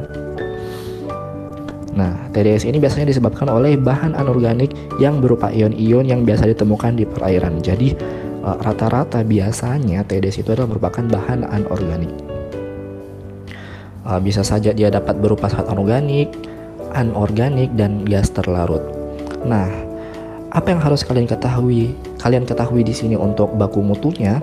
baku mutunya itu adalah nilai TSS adalah 30 mg per liter untuk air limbah domestik. Ini sudah diatur pada Permen LHK nomor 68 tahun 2016 khusus limbah domestik. Nah, bagaimana dengan standar baku mutu TDS? Kalau TDS itu dia maksimal 2000 mg per liter. Untuk sampel apa? Untuk sampel air limbah industri gula. Permen LH nomor 5 tahun 2014. Jadi yang harus kalian ketahui di sini adalah setiap standar baku mutu itu tidak mencantumkan semua parameter, hanya parameter tertentu saja tergantung sampel air limbahnya. Misalkan di limbah domestik ini itu tidak dicantumkan TDS, hanya TSS saja. Tetapi kalau air limbah industri gula, dia selain mencantumkan TSS juga mencantumkan TDS. Bagaimana dengan industri yang lainnya belum tentu mencantumkan TDS tergantung kebutuhannya sehingga untuk tiap regulasi baku mutu dan setiap industri ataupun setiap jenis limbah itu berbeda-beda parameternya sehingga kita cukup melihat atau membedah pada tiap regulasi baku mutu yang ada. Apa perbedaan dasarnya antara TSS dan TDSS? TSS ya maaf sini TSS dan TDS. Nah, Tadi saya jelaskan kalau larutan itu dia pasti homogen. Kalau kita campurkan ke dalam air pasti dia larut. Tapi kalau suspensi akan masih terlihat dua jenis paduan larutan tersebut. Jadi tidak sama seperti larutan. Biasanya dia itu stabil kalau larutan sehingga kalau suspensi itu dia tidak stabil. Kalau larutan tentu tidak dapat disaring molekul-molekulnya itu partikel dapat disaring tidak tertahan pada kertas saring tapi kalau suspensi otomatis dapat tersaring. Kenapa? Karena partikelnya cukup besar. Contohnya apa? Larutan gula larutan garam larutan cuka dan sebagainya. Itu kan sudah terlihat menyatu dalam airnya. Kita tidak bisa membedakan mana larutannya mana mana terlarutnya mana pelarutnya. Tapi kalau suspensi masih dapat kita bedakan yang mana pelarut dan zat yang terlarut. Contohnya air campuran kopi, campuran pasir, air yang keruh itu merupakan suspensi. Dapat kalian lihat di sini jenis-jenis partikelnya. Dapat juga kalian lihat secara efek tindalnya apabila ketiga jenis larutan tersebut dalam hal ini larutan kolet dan suspensi, larutan dapat menembus cahaya, dapat ditembus oleh cahaya, sedangkan suspensi tidak dapat ditembus oleh cahaya, melainkan partikel-partikelnya itu akan menghamburkan sinar dari cahaya, sinar atau cahaya yang datang. Nah, sekarang kita belajar bagaimana metode pengujian TSS dan TDS. Nah, ini juga sudah ada standarnya. Itu telah ditetapkan pada SNI atau Standar Nasional Indonesia nomor 062413 Untuk menganalisa saat pada tersuspensi dan saat pada terlarut itu digunakan metode yang namanya gravimetri. Pada praktikum sebelumnya di mata kuliah kimia mineral kalian telah mempelajari cara menganalisa suatu sampel menggunakan metode gravimetri. Nah, prinsipnya seperti apa? Ini prinsip untuk TSS, ini prinsip untuk TDSS. TDS hampir sama, dua-duanya menggunakan metode gravimetri. Kalian dapat baca ini. Nah, penjelasannya seperti ini. Um, jadi misalkan nih, ini adalah sampel air ya, sampel air limbah misalkan air limbahnya kotor, warna kuning. Nah, di situ kalian harus saring terlebih dahulu ya, harus saring terlebih dahulu menggunakan kertas, saring, corong, dan Erlenmeyer. Kalian tuang ya, kalian tuang, otomatis ada yang tertinggal dan ada yang lolos. Yang tertinggal kita katakan sebagai residu, kemudian yang lolos kita katakan sebagai filtrat. Nah, yang residu ini kita lanjutkan ya, kita pindah ke sini. Itu otomatis diperoleh yang namanya kertas saring residu. Yang di kertas saringnya otomatis banyak yang tertahan karena partikelnya besar. Nah kertas saring tersebut kalian pindahkan ke cawan petri dish kemudian keringkan pada oven pada suhu 105 hingga 100, 103 hingga 105 derajat celcius nah dari situ setelah uh, selama satu jam dikeringkan sudah diperoleh berat yang konstan ya kemudian ditimbang ya hingga beratnya konstan itulah nilai TSS-nya Selisih antara berat kertas saling sebelum dan sesudah itulah nilai TSS-nya dalam satuan miligram per liter dengan perhitungan tersendiri. Nah, bagaimana dengan TDS? Air filtrat ya, sampel filtrat yang lolos di sini, yang di bawah sini, dan yang lolos dari kertas saring, itu kalian pindahkan ke Pastikan otomatis akan diperoleh gelas plus filtrat nih, gelas piala yang berisi filtrat. Kalian pindahkan ke cawan porselin, jadi bukan petri ya, porselin. Nah, cawan porselin kita pin, uh, tambahkan filtrat. Terlebih dahulu filtratnya ini kalian ketahui berapa volumenya pakai gelas ukur, kemudian uapkan di oven hingga habis, ya, hingga habis. Hingga habis airnya, mendidih hingga habis airnya dan diperolehlah otomatis tinggal cawan kosong saja. Kan cawan kosong yang di mana pada bagian permukaan cawan porselin tersebut. Yang tersisa hanyalah garam-garam atau zat-zat anorganiknya. Dan itulah yang kalian timbang di neraca analitik sehingga diperolehlah nilai TDS nilai TDS-nya adalah selisih antara berat cawan kosong dan berat cawan setelah penguapan dibagi volume sampel itulah nilai TDS-nya. Dan ingat nilai TDS-nya tidak mele boleh melebihi ambang batas yang telah dijelaskan berikut. Ya, kemudian kita lanjut ke keruhan atau turbiditas. Apa itu keruhan turbiditas? Ya, seberapa keruh suatu air itu sebenarnya ya. Kekeruhan adalah jumlah zat partikel yang tergenang dalam air Kekeruhan menggambarkan sifat optik air yang ditentukan oleh berdasarkan baiknya cahaya yang diserap dan dipancarkan oleh zat-zat dalam air. Turbiditas air disebabkan oleh adanya materi suspensi seperti tanah, tanah liat, lempung, endapan lumpur, partikel organik yang koloid, plankton, dan organisme mikroskopis lainnya. Jadi sebenarnya kekeruhan ini tidak lain sinkron terhadap yang namanya nilai TSS. Semakin tinggi nilai TSS, maka nilai kekeruhannya juga tinggi. Jadi apabila TSS tinggi maka nilai kekeruhannya juga tinggi karena kenapa kekeruhan itu ada karena partikel suspensinya. Nah, uh, ini yang menjadi uh, yang menjadi parameter adalah nilai akhirnya satuan dari kekeruhan itu adalah NTU. NTU adalah kepanjangan dari nevelometric turbidity unit. Nah, di sini paling uh, kita bisa lihat semakin tinggi nilai turbidity-nya, nilai kekeruhannya, maka semakin keruh. Ini untuk nilai 250 dapat kalian lihat uh, uh, airnya semakin coklat. Nah, bagaimana cara memperoleh nilai kekeruhan ini? Digunakanlah alat ini yang namanya turbidimeter. Prinsip kerjanya seperti ini dapat kalian lihat ya. Jadi ada lensa, ada sumber cahaya. Partikelnya atau sampelnya ada di sini. Karena partikelnya memiliki ukuran yang cukup besar yaitu lebih dari satu mikrometer, maka ketika dia diberikan atau disinari oleh cahaya, cahayanya itu dapat dibelokkan.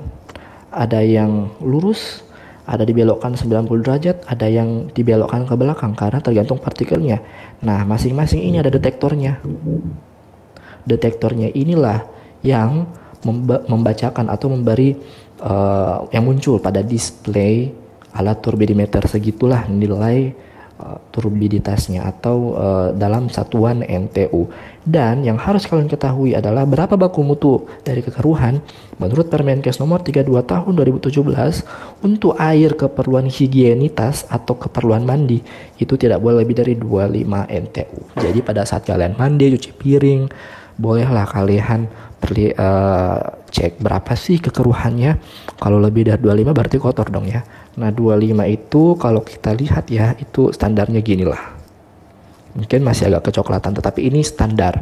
Tidak boleh lebih dari 25 kan pasti otomatis dari kalian tidak bakalan pengen mandi kalau airnya itu coklat begini. Pasti akan merasakan gatal-gatal karena banyak saat padat tersuspensinya parameter selanjutnya adalah nilai pH nilai pH ini juga merupakan karakteristik fisika. Nah nilai pH ini menyatakan kesetimbangan keseimbangan antara berapa jumlah asam dan jumlah basa yang ada dalam air. Ya kan jumlah basa atau asam yang dalam air berarti dia terdapat banyak ion-ion di dalamnya. Berarti dia sinkron terhadap padatan terlarut atau TDS dia sinkron terhadap TDS nah standarnya adalah kita harus memperoleh air yang bersifat netral belum terbentuk ion-ion atau basa dan asam nah standarnya berapa itu sekitar 6,5 sampai 7,5 nilai pH-nya Alat yang digunakan apa? Pasti tentu kalian sudah tahu dan sering pakai alatnya di laboratorium. Kita menggunakan alat yang pH meter atau kertas pH indikator universal. Standarnya gimana? Menurut Permen LH nomor 5 tahun 2014 ya, untuk industri pelapisan logam yang memiliki lembah cair nilai pH-nya itu tidak boleh uh, melewati kisaran berikut yaitu 6 sampai 9. Ya, jadi itu tentang karakteristik fisika. Selanjutnya, uh, saya akan menjelaskan karakteristik kimia pada video berikutnya. So, thank you. Jangan lupa like dan subscribe dan jangan lupa juga di share. Terima kasih.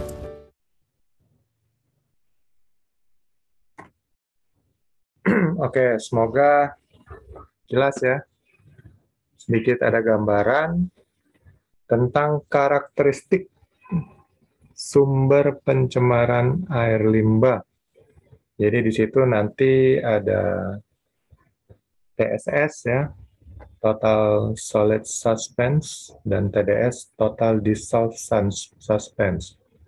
Jadi zat padat ya, ada yang tersuspense melayang-layang dia di permukaan air dan ada yang terlarut jadi sudah menyatu dengan air. Dan yang terlarut itu ada yang apa bentuk koloid dan ada yang uh, dissolve ya terlarut benar. Koloid ini masih lebih besar daripada yang dissolve. Nah, kalau suspense itu lebih besar, ukurannya ya lebih besar dari satu mikrometer. kalau yang dissolve atau terlarut, tadi dia bilang uh, ukurannya dalam nanometer, jadi seperseribu dari mikrometer jauh lebih kecil dan tidak bisa dilihat lagi dengan mata telanjang. Oke, okay. uh, eh, sekarang kita diskusi sebelum masuk ke materi unit kompetensi yang ketiga ya. Sebelum kita istirahat break makan siang. Silakan kalau ada pertanyaan. 5 menit kita diskusi.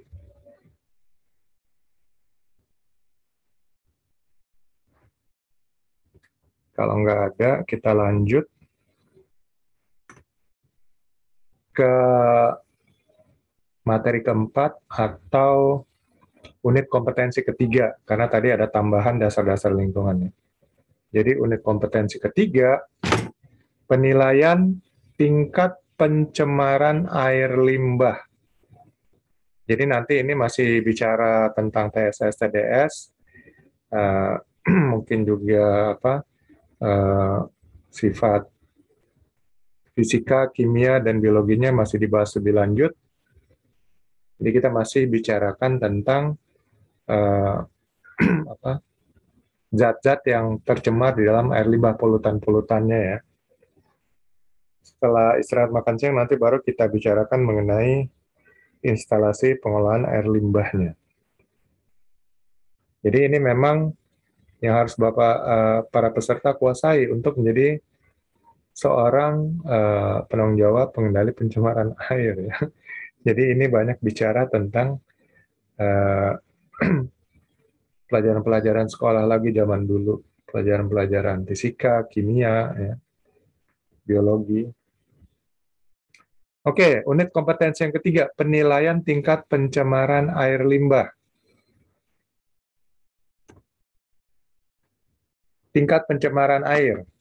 Menurut peraturan pemerintah PPP ya nomor 82 tahun 2001 mengenai lingkungan, pencemaran air adalah masuknya atau dimasukkannya makhluk hidup, zat, energi atau komponen lain ke dalam air oleh kegiatan manusia.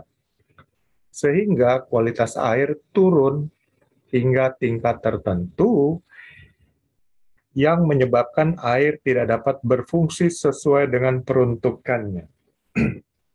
Jadi untuk mandi yang nggak layak untuk dipakai untuk mandi gitu kan, karena uh, apa TSS-nya terlalu besar ya, jadi terlalu keruh dia. Tadi seperti dikasih lihat ya, ada kekeruhannya mulai dari kuning, sangat kuning, lalu sampai mengarah ke coklat. Nah, berarti itu sudah tidak layak gitu. Pencemaran air dapat diketahui dari perubahan warna, bau, serta adanya kematian dari biota air, ya, baik sebagian atau seluruhnya. Jadi kalau kita lihat ada ikan-ikan mati, berarti itu ada uh, zat polutan yang masuk ke air, ya, dan akhirnya sebagian daripada biota laut tersebut mati. Apabila suatu sungai, danau, atau laut diindikasikan tercemar, tentunya kita juga harus tahu seberapa besar tingkat pencemarannya. Ya. Tingkat pencemaran dari air tersebut.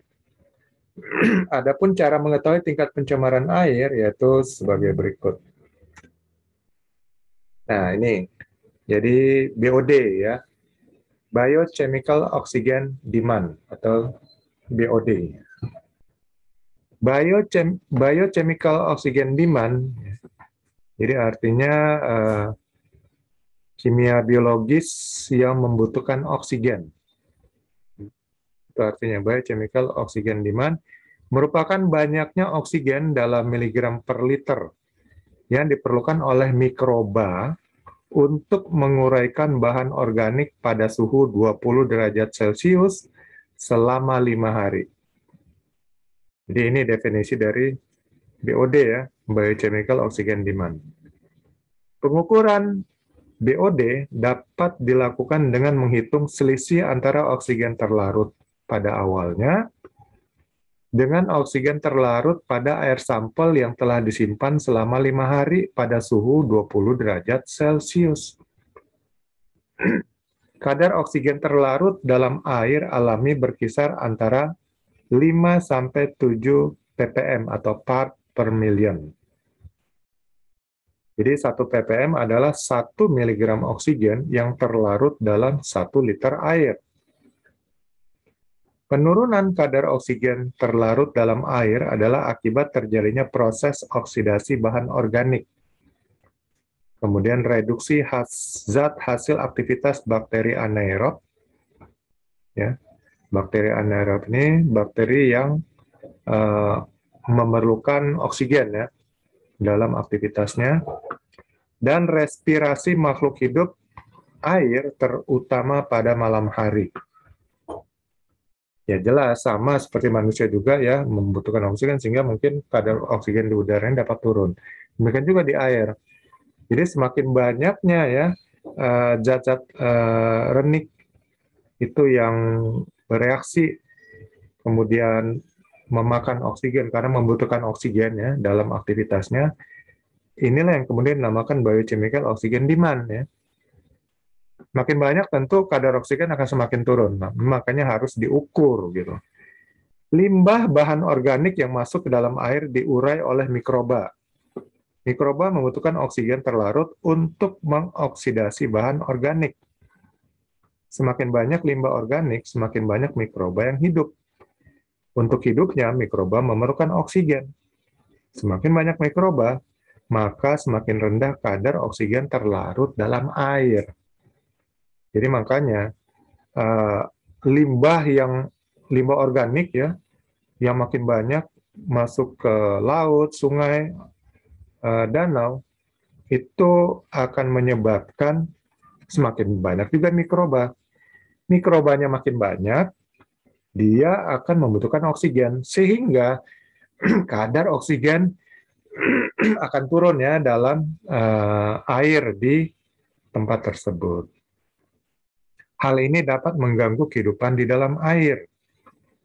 BOD atau biochemical oxygen demand dapat menggambarkan oksigen yang dibutuhkan untuk menguraikan bahan organik yang dapat didekomposisikan secara biologis atau biodegradable atau penguraian hayati. Jadi ini harus diukur juga ya untuk uh, mengukur tingkat pencemaran air. Yang kedua ada namanya COD. Ya, bukan cash on delivery ya di sini. Tapi di sini maksudnya chemical oxygen demand. Kalau BOD juga bukan board of director, tapi bio chemical oxygen demand. Oke, COD. COD, chemical oxygen demand, menunjukkan total jumlah oksigen yang dibutuhkan untuk proses oksidasi bahan organik secara kimiawi ya, yang biodegradable maupun yang non biodegradable. Jadi bahan kimia yang diuraikan ya, ya secara hayati maupun yang uh, bahan kimia yang non biodegradable yang tidak diuraikan. Ini tetap membutuhkan oksigen. Jadi artinya semakin banyak bahan kimia, oksigen dalam uh, air tersebut akan semakin berkurang.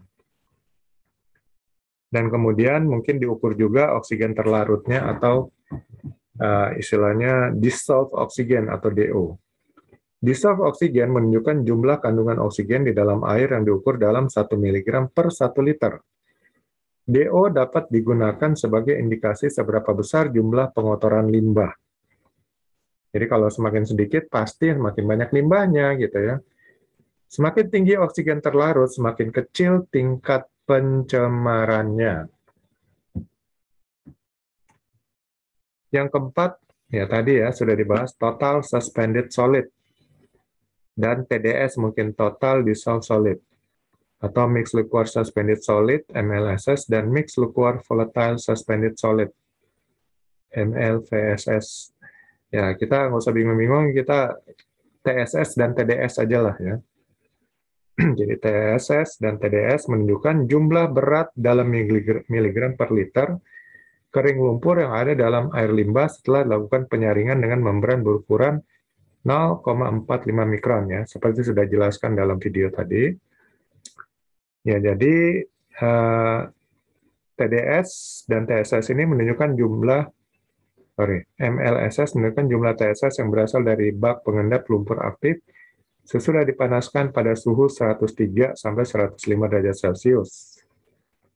Sedangkan MLVSS merupakan kandungan organik meter yang terdapat pada MLSS sesudah dipanaskan pada suhu 600 derajat Celcius. Benda volatile yang menguap inilah yang disebut dengan MLVSS. Jadi kita nggak usah bingung, ikut aja yang tadi ya, TSS dan TDS. Jadi uh, zat padat tersuspensi atau mengambang berarti bentuknya masih besar dan uh, zat padat yang terlarut atau TDS ya total dissolved solid. Yang kelima kekeruhan atau turbidity. Kekeruhan air dapat diukur dengan menggunakan efek cahaya ya. Kayak tadi juga kasih lihat Jadi semakin keruh tentu cahaya tidak bisa melewati uh, cairan tersebut. Kekuruhan air disebabkan oleh tercampurnya air dengan bahan organik di dalam air. Dan bahan organik ini adalah bahan padatnya, solid. Kemudian keenam pH air. pH air dapat dijadikan indikasi apakah air tersebut tercemar atau tidak dan seberapa besar tingkat pencemarannya. pH air alami berkisar antara 65 sampai 85 atau kita ikut tadi 6 sampai 9 ya. Dan pada kisaran pH ini sangat cocok untuk kehidupan organisme di dalam air. Pencemaran air dapat menyebabkan naik atau turunnya pH air. Jika banyak tercemar zat yang bersifat asam, itu dari bahan organik, pH air akan lebih kecil dari 6,5. Tetapi jika air tercemar oleh zat yang bersifat basa, ya, atau seperti contohnya kapur, pH air akan lebih besar dari 8,5. Nah, di sini kita ikutin sesuai standar Kemen LHK ya, Menteri LHK 6 sampai 9 ya. Setiap kenaikan satu angka pada skala pH menunjukkan kenaikan kebasahan 10 kali. Jadi dari apa? satu eh, enam ke tujuh ya berarti kenaikan kuasanya 10 kali gitu. Demikian juga sebaliknya. Penurunan satu angka pada skala pH menunjukkan penurunan keasaman 10 kali. Kondisi air yang semakin asam atau semakin basah menjadi semakin tidak cocok bagi kehidupan organisme dalam air, sehingga jika pH air semakin asam akan semakin sedikit organisme yang hidup di dalamnya, bahkan tidak ada sama sekali. Jadi uh, pH air ini mempengaruhi kehidupan organisme di dalam air ya atau habitat air. Nah, standar daripada Kementerian Lingkungan Hidup adalah 6 sampai 9. Kurang dari 6 itu bersifat basah, lebih dari 9 bersifat basah dan itu tidak baik bagi kehidupan biota di dalam air. Kemudian yang ketujuh, pengukuran kadar CO2 atau karbon dioksida. Tingkat pencemaran air dapat diukur dengan cara tetrimetri ya. Untuk menentukan kadar karbon dioksida. Jadi uh, tetrimetri ini mengukur kadar CO2 ya dalam air. Semakin banyak organisme yang hidup di dalam air, maka semakin tinggi kadar CO2 yang terdapat di dalam air karena gas CO2 yang terlalu di dalam air berasal dari proses pernapasan organisme yang terdapat dalam air tersebut. Jadi sama seperti di darat, ya. di darat juga orang bernapas mengeluarkan oksigen dan uh, menghirup, eh, sorry, orang menghirup oksigen dan mengeluarkan karbon dioksida. Jadi semakin banyak manusia, semakin banyak hewan, ini karbon kadar karbon dioksida akan semakin besar. Dan penghasil oksigen adalah tumbuh-tumbuhan hijau. Jadi sama seperti di darat juga, ya uh, kalau kadar gas-gas lain naik, maka yang turun itu bukan nitrogen ya. Nitrogen itu 78 persen. Tapi yang turun oksigen. Itu namanya sifat inert gas. Jadi kalau seandainya kadar CO2 naik, maka oksigen akan turun. Itu otomatis, itu sifat inert gas dari gas. Jadi gas-gas lain naik, yang turun oksigen. Contoh, kalau dalam peristiwa kebakaran ya itu akan mengeluarkan CO2 jadi CO2 dalam apa? Dalam kondisi normal di udara hanya 0,04 persen. Tapi kalau dalam peristiwa kebakaran yang asap semakin banyak, itu kalau kita ukur, dia akan naik sampai 5 persen. Berarti kenaikannya hampir memang 5 persen. Nah, yang turun itu bukan nitrogen. Padahal nitrogen itu banyak di udara, 78 persen. Tapi yang turun adalah oksigen. Jadi oksigennya 21 dikurang 5, jadi tinggal 16 persen. Makanya kebanyakan orang meninggal dalam peristiwa kebakaran bukan karena terbakar, tapi karena aspiksia atau tercekik karena kehabisan atau kekurangan oksigen. Itu sifat inert gas dari oksigen ya. Jadi kalau gas lain naik, dia oksigen yang turun. Ya, karena oksigennya baik hati. Jadi nitrogen itu pelit. Dia nggak mau turun. Dia tetap 78 persen. Oksigen yang turun jadi 16 persen. Itu sifat inert gas ya dari gas. Makanya kalau dalam air juga, kalau CO2-nya naik, ya, karena banyaknya apa organisme yang makin bertumbuh ya, terutama mikroorganisme karena banyaknya uh, sampah-sampah organik, jadi pengurai atau mikroorganisme ini juga bertumbuh makin banyak, akibatnya mereka akan menyerap oksigen atau mereka mengeluarkan CO2. Sehingga karena sifat inert gas dari gas, yang turun itu kadar oksigennya. Jadi semakin banyak organismenya, maka gas CO2 yang terlarut dalam air semakin banyak, sehingga oksigennya turun ya karena sifat inert gas. Kemudian pengukuran pencemaran air secara biologis. Pengukuran pencemaran air secara biologis merupakan pengukuran kualitatif atau mutu air tercemar. Pengukuran pencemaran air secara biologis tersebut hanya untuk menentukan besar dan tingkat pencemaran air. Jadi uh, ini indikator secara tidak langsung lah istilahnya. Indikator yang sering digunakan biasanya adalah makhluk hidup yang ada di dalam air itu. Alasannya karena makhluk hidup yang digunakan sebagai indikatornya selalu berada terus-menerus dalam air yang terpengaruh langsung oleh bahan pencemar. Nah, biasanya digunakan itu adalah uh, sorry, setiap jenis makhluk hidup mempunyai daya tahan adaptasi yang berbeda-beda terhadap bahan pencemar. Jika makhluk hidup itu mempunyai daya tahan tinggi, maka ia akan tetap bertahan hidup. Tapi jika makhluk hidup memiliki daya tahannya rendah atau peka terhadap bahan pencemar, maka akan mudah mati bahkan punah. Nah, dalam hal ini kita menggunakan cacing planaria untuk mengetahui tingkat pencemaran air sungai. Bentuk cacing ini pipih dan peka terhadap bahan pencemar. Habitat planaria berada pada lingkungan yang airnya jernih dan banyak mengandung oksigen. Jadi, eh, sorry, jika di sungai masih banyak kita temukan cacing planaria, itu artinya sungai tersebut belum tercemar. Ya. Nah, kalau kita lihat cacing planarianya musnah atau mati, berarti itu sudah muncul pencemar. Ya. Ini cara yang tidak langsung ya dengan pengukuran secara biologis. Jadi apabila keberadaan cacing planaria semakin sedikit ataupun sama sekali, maka dapat dikatakan pencemaran air di sungai itu semakin tinggi. Meskipun pengukuran pencemaran air secara biologis hanya dilakukan dengan cara pengamatan saja, tetapi hasilnya lebih mudah terlihat dibandingkan dengan pengukuran pencemaran air secara kimia, seperti yang telah dijelaskan pada uraian di atas. Hal itu disebabkan makhluk hidup yang digunakan sebagai indikatornya selalu terus-menerus berada di dalam air yang terpengaruh langsung oleh bahan pencemar.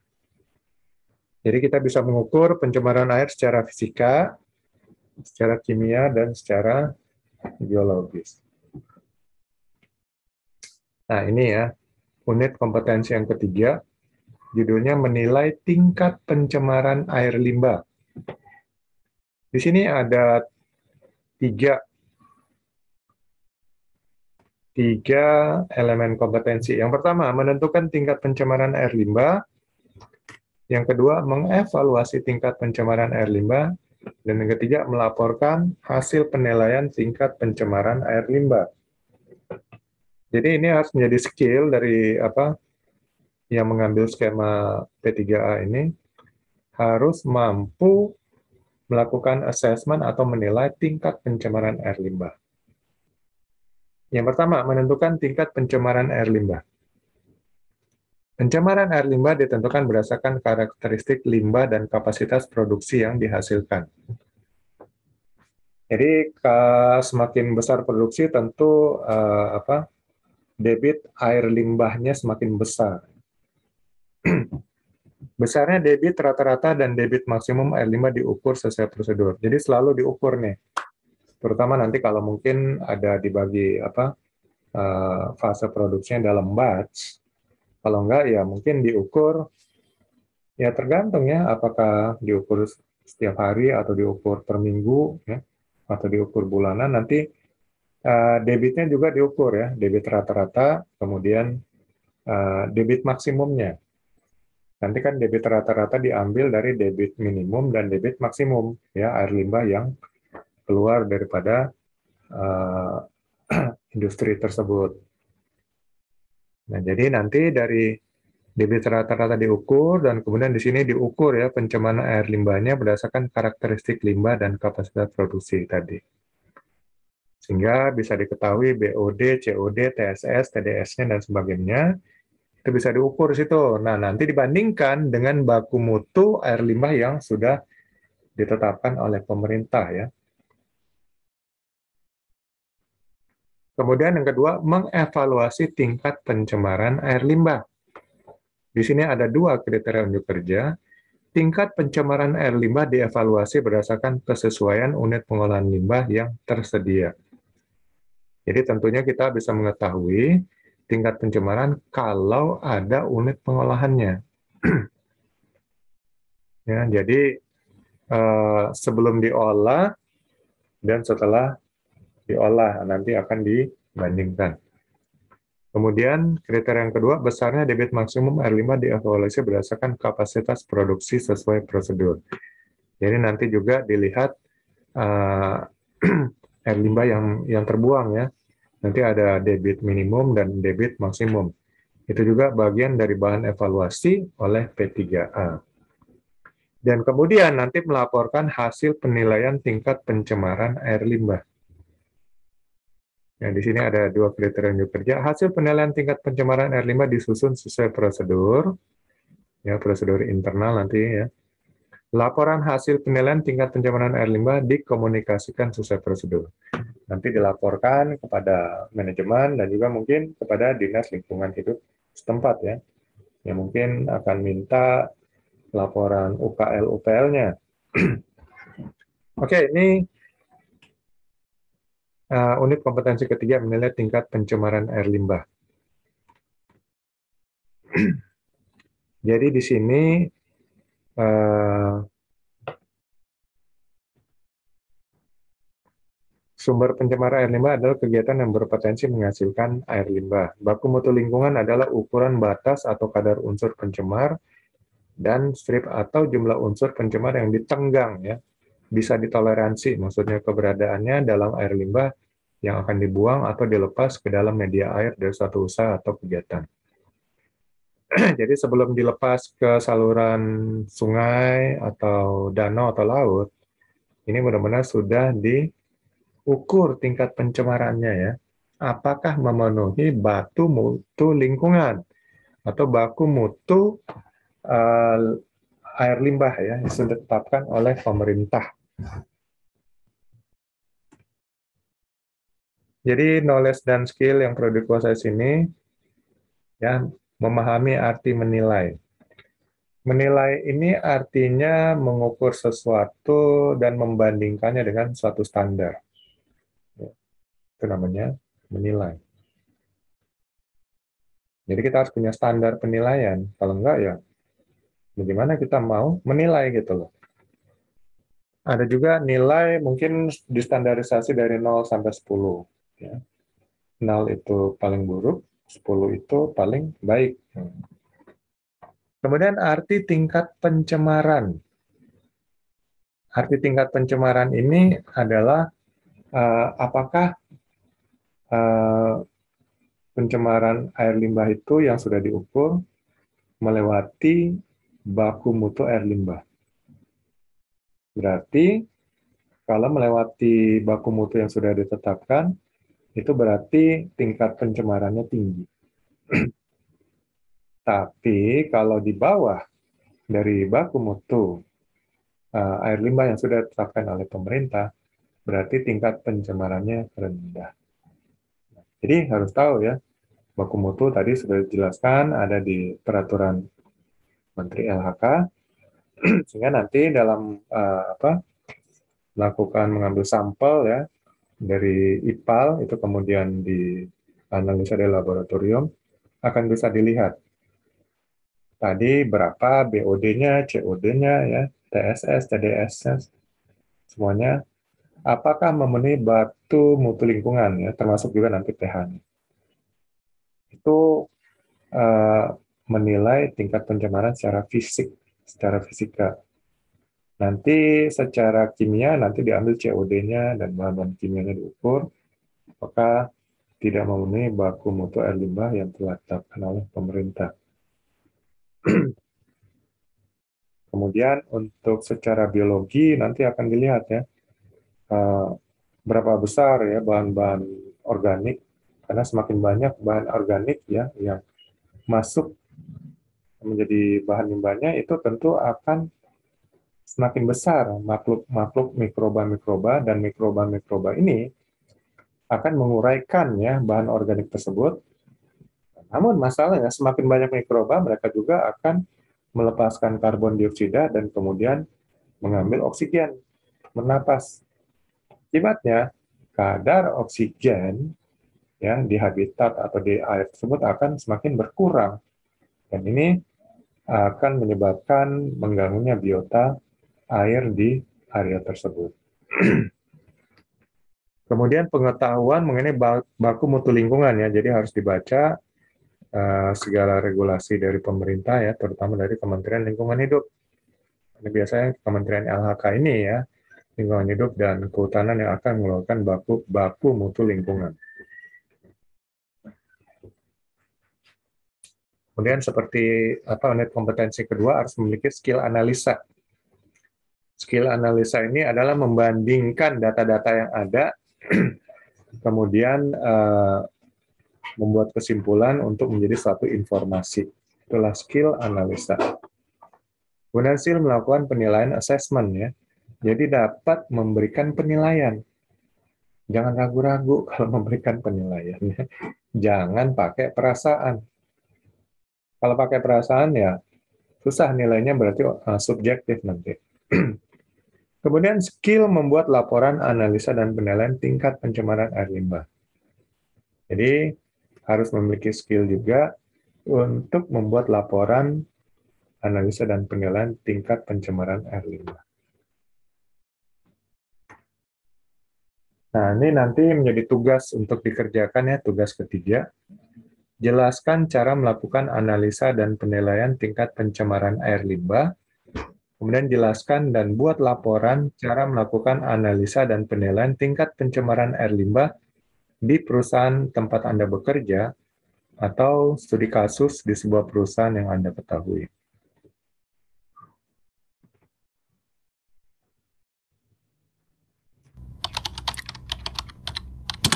Baik, kita lanjut lagi ke karakteristik kimia untuk suatu jenis limbah cair. Jadi karakteristik kimia itu sebenarnya ada banyak, tapi yang akan saya jelaskan di sini ada lima, yaitu BOD, COD, DO, air, dan kadar logam berat. Yang pertama kita masuk dulu ke BOD atau Biochemical Oxygen Demand. Jadi uh, pengertiannya apa ya? Sebelum masuk ke BOD harus tahu terlebih dahulu bahwasanya Uh, semua makhluk hidup pasti membutuhkan oksigen, tidak terkecuali organisme yang hidup di dalam air. Banyak ikan akan mati dalam perairan tercemar bukan diakibatkan oleh toksisitas saat pencemar langsung, tetapi karena kurangnya oksigen sebagai akibat dari gunakannya gas tersebut pada proses penguraian penghancuran saat pencemar. Nah, di dalam lingkungan itu bahan organik itu ada banyak sekali. Nah, bahan organik inilah yang sebenarnya menjadi makanan bagi mikroorganisme-mikroorganisme itu dengan bantuan adanya oksigen. Jadi oksigen dibutuhkan oleh ikan-ikan dan hewan-hewan laut beserta mikroorganisme-mikroorganisme yang juga hidup di laut. Dengan adanya oksigen dan bahan-bahan organik itulah yang menjadikan mereka dapat berlangsung uh, kehidupannya atau dapat hidup di perairan. Kalau air yang cukup bagus tentu oksigennya itu harus banyak. Nah, air yang tidak sehat tentu ikannya akan mati karena oksigennya sedikit. Situ muncullah pengertian dari BOD. BOD itu adalah bisa disingkat sebagai biochemical oxygen demand namun beberapa referensi juga mencantumkan kepanjangan dari B huruf B ini adalah logical digunakan kedua-duanya tergantung sebenarnya referensi mana yang lebih uh, akurat atau valid untuk mengartikan definisi dari BOD ini. BOD itu adalah banyaknya oksigen yang diperlukan untuk menguraikan bahan organik oleh bakteri aerobik melalui proses biologi secara dekomposisi aerobik ya. Jadi uh, banyaknya oksigen yang dibutuhkan untuk uh, mengubah senyawaan organik menjadi senyawa-senyawa yang lebih sederhana. Nah, itu dapat kalian lihat pada reaksi berikut. Jadi, ada senyawa organik. Dalam suatu perairan dalam suatu limbah cair pasti akan banyak mengandung sisa-sisa bahan-bahan organik. Organiknya tidak boleh banyak. Nah, ini dengan adanya oksigen yang terkandung di dalam uh, suatu perairan itu itu menjadi suatu reaksi reaktor. Akan terbentuklah reaksi antara senyawa organik ini dan oksigen yang dilakukan oleh mikroorganisme. Nah, karena mikroorganisme melangsungkan hidupnya dengan menggunakan oksigen dan mengurai bahan organik ini terbentuklah CO2 dan H2O beserta yang baru sehingga dengan demikian, apa yang diperoleh dari BOD ini, BOD ini sebenarnya mengindikasikan seberapa banyak sih senyawa oksigen dan senyawa organik yang terkandung di dalam suatu perairan tersebut atau di dalam suatu limbah cair tersebut. Itu dapat kalian lihat pada uh, ilustrasi berikut ya. Yang putih itu merupakan oksigen sementara yang uh, agak kecoklatan itu adalah BOD. Nah, di gambar sini ada bakteri yang berwarna hijau. bakteri dihadapkan antara oksigen dan BOD. Uh, BOD tidak lain sini adalah senyawa organiknya. Nah, dengan adanya uh, mikroorganisme pada suatu perairan tersebut, maka dua-duanya si bakteri tersebut memakan memakan keduanya, memakan uh, oksigennya dan memakan juga orga uh, bahan-bahan organiknya, ya. Uh, bakteria utilize oksigen menggunakan oksigen dan dikonsum BOD. Oksigen is depleted in the water. Ya. Nah, sehingga uh, dengan demikian apa yang dapat kita ketahui di sini BOD itu sebenarnya mengindikasikan seberapa banyak sih oksigen yang ada di dalam suatu limbah tersebut atau peren tersebut sekaligus juga uh, mengindikasikan berapa banyak senyawa organik yang ada di uh, suatu limbah atau perairan tersebut. Kenapa? Karena oksigen dan senyawa organik ini dianggap ekivalen terhadap senyawa organik sehingga kalau misal jumlah oksigennya sekian 1000 mg yang diperoleh maka yang uh, jumlah senyawa organiknya pun juga 1000 mg per liter karena organik dan oksigen di sini adalah uh, bereaksi satu sama lain sehingga dianggap keduanya memiliki nilai yang ekivalen. Nah, cara mengujinya bagaimana? Nah, metode pengukurannya itu mengukur kandungan oksigen terlarut awal. Jadi ada DOI atau inisial ya, yang awal ya. Uh, DO awal. DO itu adalah solve oksigen. Oksigen terlarutnya pada saat awal sebelum ada mikroorganisme berapa? Dari sampel setelah pengambilan contoh, kemudian mengukur kandungan oksigen terlarut pada sampel yang telah diinkubasi selama lima hari. Jadi sampelnya untuk mengetahui BOD-nya berapa itu diinkubasi sampai hari kelima. Dalam hal ini DO1, DO2, DO3, DO4 itu adalah jumlah harinya. Jadi anggaplah di sini mungkin ada empat hari. DO5-nya ada di uh, setelah gambar ini. DO di DO0 itu kita hitung dulu berapa oksigennya. Di hari kedua berapa oksigennya, hari ketiga berapa oksigennya, sampai hari keempat berapa oksigennya. Otomatis jumlah oksigennya seharusnya berkurang karena digunakan oleh mikroorganisme. Kenapa mesti diinkubasi selama lima hari? Karena waktu tersebutlah waktu optimum suatu mikroorganisme untuk mengurai seluruh senyawa-senyawa organik. Dan kenapa harus diinkubasi? Karena inkubasi yaitu sekitar 35 derajat Celcius atau 40 derajat Celcius waktu yang digunakan oleh si bakteri tersebut untuk mengurai senyawa-senyawa organik yang ada sehingga sampai pada hari uh, terakhir yaitu hari kelima. Nah, di sini dapat kalian lihat grafiknya uh, pada hari ke setengah satu satu setengah sampai ke tujuh. Nah, hingga pada hari ke 20 dapat kalian lihat Berapa banyak sih bahan organik yang teroksidasi? Makin tinggi harinya otomatis nilainya semakin bertambah. Nah, baku mutunya berapa? Baku mutunya adalah tidak boleh lebih dari 50 mg per liter menurut Permen LH nomor 5 tahun 2010. Nilai ini adalah nilai BOD untuk limbah kawasan industri. Nah, tadi kita lihat nih, ini metodenya metode untuk menguji BOD-nya karena kita menggunakan asumsi lima hari untuk menginkubasi sampel karena inkubasi tersebutlah di uh, dihidupkan mikroorganismenya agar supaya terjadi penguraian. Nah, setiap hari harus dihitung berapa jumlah DO-nya, ya kan ya? Berapa DO-nya berapa? Nah, di sini cara menghitung DO-nya atau menguji DO-nya berapa? Ini yang harus kalian ketahui dan juga nanti akan dilangsungkan pada praktikum. Ya, ini ada yang namanya metode Winkler. Ya. Winkler.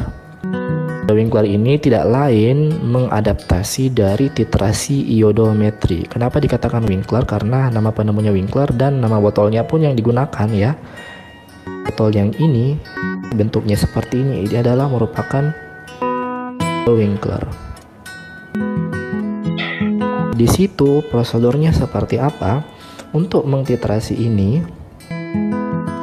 ada reaksinya tersendiri. Pertama, sampelnya itu ditambahkan tan MnCl2 dan uh, natrium hidroksida Ki sehingga akan terbentuk MnO2 dengan menambahkan asam sulfat atau HCl ya agar supaya ter, uh, terbentuk endapan maka larut kembali dan juga akan membebaskan molekul iodium dengan oksigen terlarut. Jadi uh, ini adalah serangkaian prosedur untuk menggunakan metode Winkler uh, sama dengan seperti yang praktikum sebelumnya di titrasi namun titrasi kali ini adalah titrasi iodometri kenapa dia akan iodometri karena titrasinya tidak langsung menggunakan uh, molekul Jim yang dibebaskannya selanjutnya diterasi dengan larutan standar natrium tiosulfat dan menggunakan larutan indikator amino kanji. Dapat kalian pelajari pada uh, prosedur berikut. Nah, ini rangkaian prosedurnya nanti akan kalian kerjakan di laboratorium. Reaksinya seperti apa? Ah, inilah reaksinya. Dahulu MnCl2 direaksikan sama NaOH terbentuklah mangan hidroksida. Mangan hidroksida inilah kemudian yang terikat bersama dengan jumlah oksigen yang ada dari sampel tersebut. Nah, diperolehlah MnO2 dan 2H2O. MnO2 atau mangan dioksida inilah yang dititrasi menggunakan Ki. Dilarutkan pada air sehingga diperoleh kembali mangan hidroksida dan kelebihannya inilah yang dianggap dititrasi kembali menggunakan iodium bersama natrium tiosulfat pada yang ini dan inilah nilai O2 yang terkandung atau tidak lain sama dengan nilai BO atau dissolved oxygen alias oksigen terlarut adalah BOD. Nah, bagaimana dengan COD? Dia adalah jumlah oksigen yang dibutuhkan untuk mengoksidasi senyawa organik dalam suatu perairan. Suatu perairan, uh, kalau tadi BOD adalah mengurai oksigen menggunakan mikroorganisme, nah ini mengurai oksigen juga tetapi menggunakan prinsip reaksi oksidasi atau uh, reaksi redoks. Ada yang dioksidasi berarti ada yang direduksi. Seperti ini dia prosesnya. Organiknya ditambahkan suatu uh, oksidator ya menyebabkan oksigennya ini uh, senyawa organiknya ini mengalami reduksi ya kan ya. Ini dan ini dan ini. Sehingga diperolehlah senyawa yang lebih kecil. Nah, apa yang jumlah kromium ya dalam hal ini kita gunakan kromium karena itu merupakan oksidator kuat jumlah oksidator kuat yang dapat bereaksi terhadap uh, senyawa organik ini menandakan jumlah senyawa organik yang terkandung di dalam uh, suatu larutan tersebut atau sampel limbah tersebut. Standar baku mutu untuk nilai D untuk limbah kawasan industri yang sudah ditetapkan adalah tidak boleh lebih dari 100 mg per liter berarti sedikit. Boleh banyak organiknya. Cara mengujinya bagaimana? Nah tadi reaksinya menggunakan kromium ya eh, K2Cr2O7 kalium dikromat sehingga otomatis uh, sampelnya harus ditambahkan kalium bikromat dulu Uh, metode pengukuran COD sedikit lebih kompleks karena menggunakan peralatan khusus reflux, menggunakan asam pekat, pemanasan, dan titrasi. Ini juga uh, tidak menutup kemungkinan akan kalian lakukan di laboratorium. Nah, pada prinsipnya adalah COD menambahkan sejumlah tertentu kalium bikromat, di mana kalium bikromat ini merupakan oksidator. Nah, kemudian ditambahkan asam pekat, perak, dipanaskan pada beberapa waktu menggunakan alat yang namanya reflux, ya. Selanjutnya kelebihannya itu dititrasi menggunakan titrasi Winkler. Nah, dia direaksikan bersama dengan oksidator ini, nah dititrasilah lagi menggunakan Winkler. Yang mana itu Winkler? Itulah tadi yang telah saya jelaskan di sini. Titrasi lagi menggunakan metode ini. Nah, itulah nilai uh, oksigen terlarutnya, berapa banyak oksigen yang digunakan untuk mengurai bahan organiknya. Ini ilustrasinya dapat kalian lihat. Nah, untuk mengukur COD itu dapat menggunakan dua jenis metode, bisa menggunakan spektrofotometer, bisa juga menggunakan alat titrasi. Titrasinya ini tidak lain menggunakan titrasi ada menggunakan titrasi ORP atau oksidasi reduksi ya jadi titrasi redox Winkler juga dapat menggunakan alat spektrofotometer.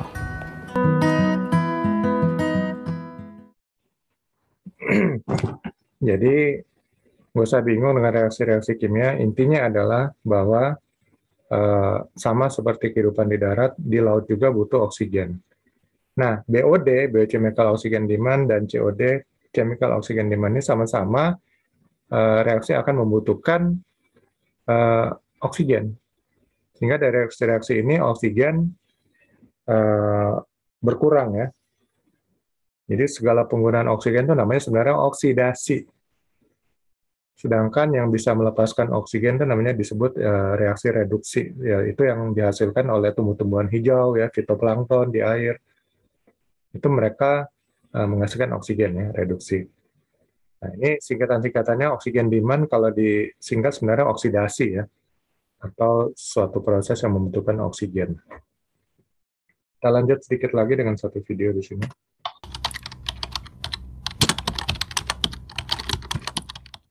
Nah, sekarang oksigen terlarut seperti apa sih uh, pentingnya suatu oksigen terlarut dalam suatu perairan? Uh, oksigen terlarut ini menurut Permenkes itu tidak boleh lebih dari 4 mg per liter. Kenapa oksigen ini penting? Dalam suatu perairan kalau oksigennya sedikit maka jumlah biota yang ada dalam uh, kehidupan air tersebut akan berkurang karena tentu semua makhluk hidup membutuhkan oksigen. Nah, ini yang dapat kalian lihat ya, semakin tinggi jumlah oksigennya uh, minim uh, ini adalah jumlah minimum oksigen yang diperlukan. Kalau oksigennya itu lebih dari 5 sampai 6 itu bisa hidup ikan-ikan yang berjenis seperti ini. Tapi semakin kurang yang bisa hidup itu cuman worms atau cacing. Jenis ikan pun juga semakin kurang jenis seafood, jenis hewan-hewan laut pun juga akan semakin berkurang karena kekurangan oksigen. Berarti hanya hewan-hewan tertentu yang bisa hidup. Sehingga tidak dapat dipungkiri oksigen terlaut ini sangat penting. Ini adalah uh, siklus bagaimana prosesnya yang terjadi di bawah air ya.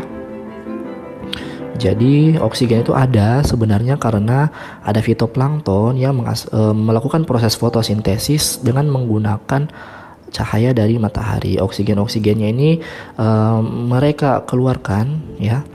Mereka keluarkan dan digunakanlah oleh para hewan-hewan ini. Gitu. Semakin ke bawah biasanya oksigen itu semakin rendah. Semakin ke dekat ke permukaan maka uh, oksigennya justru akan semakin lebih tinggi. Atau ada pengujian oksigen terlarutnya itu menggunakan cara Winkler ya, seperti yang tadi telah saya jelaskan dan ada juga metode elektrokimia dengan menggunakan DO meter yang menggunakan sebuah elektron membran. Kalau metode Wick. Nah, kemudian ada juga yang namanya kesadahan air, parameter ya. Kesadahan air ini adalah parameter yang menyatakan kadar ion-ion CO2+ dan Mg2+ yang terkandung dalam suatu perairan. Air dengan kesadahan tinggi terdapat pada air tanah di daerah yang bersifat kapur. Nah, apa yang menjadi masalah kalau Ca2 dan Mg2 ini banyak, ini akan menyebabkan suatu dampak buruk. Apa dampak buruknya? Itu ada dua.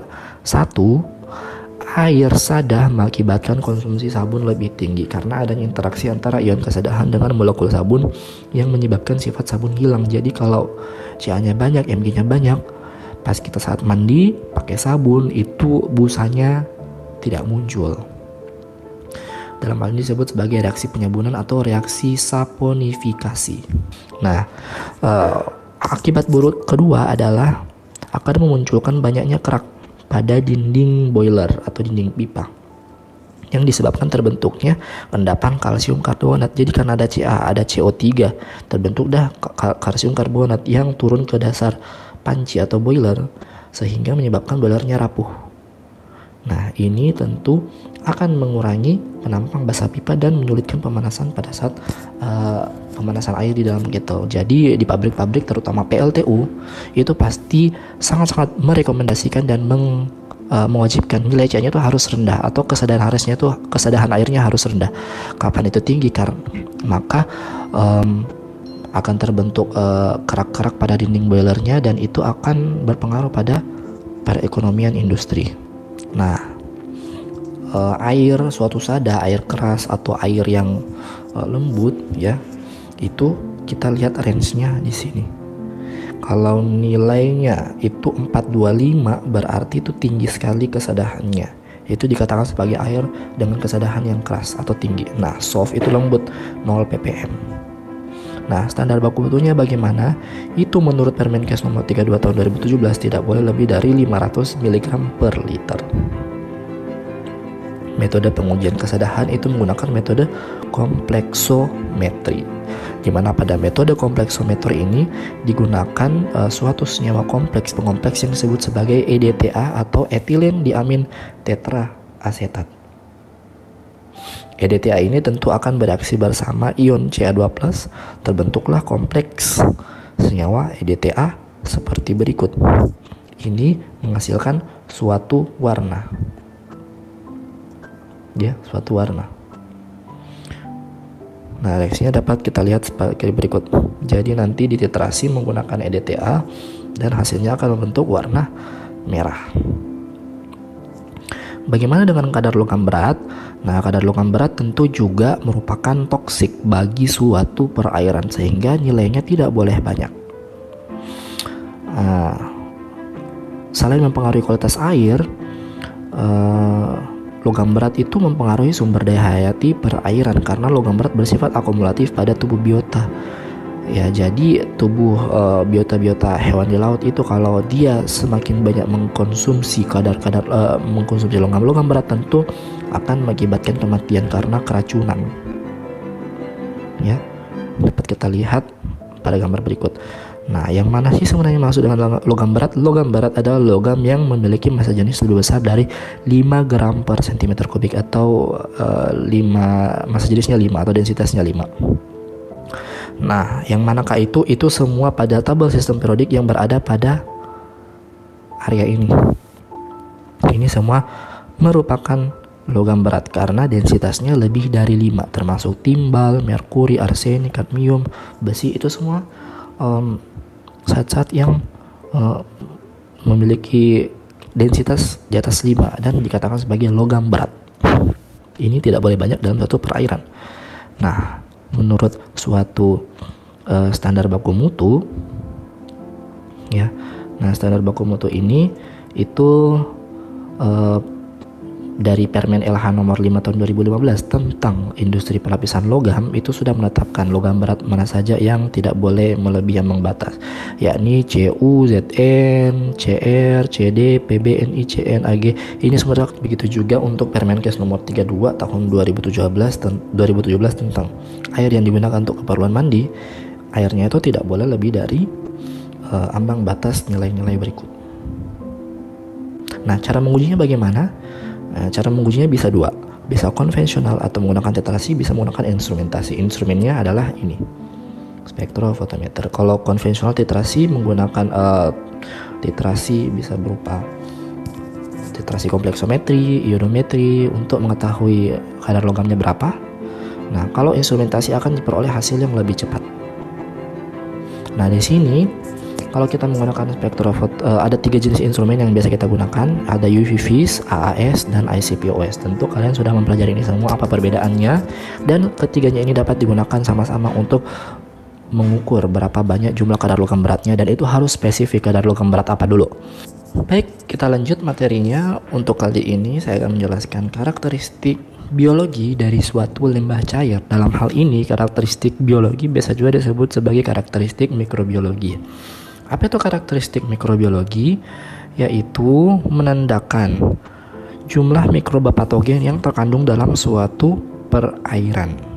Nah, yang harus kita garis bawahi di sini adalah mikroba patogen. Ingat ya, mikroba itu ada banyak jenisnya.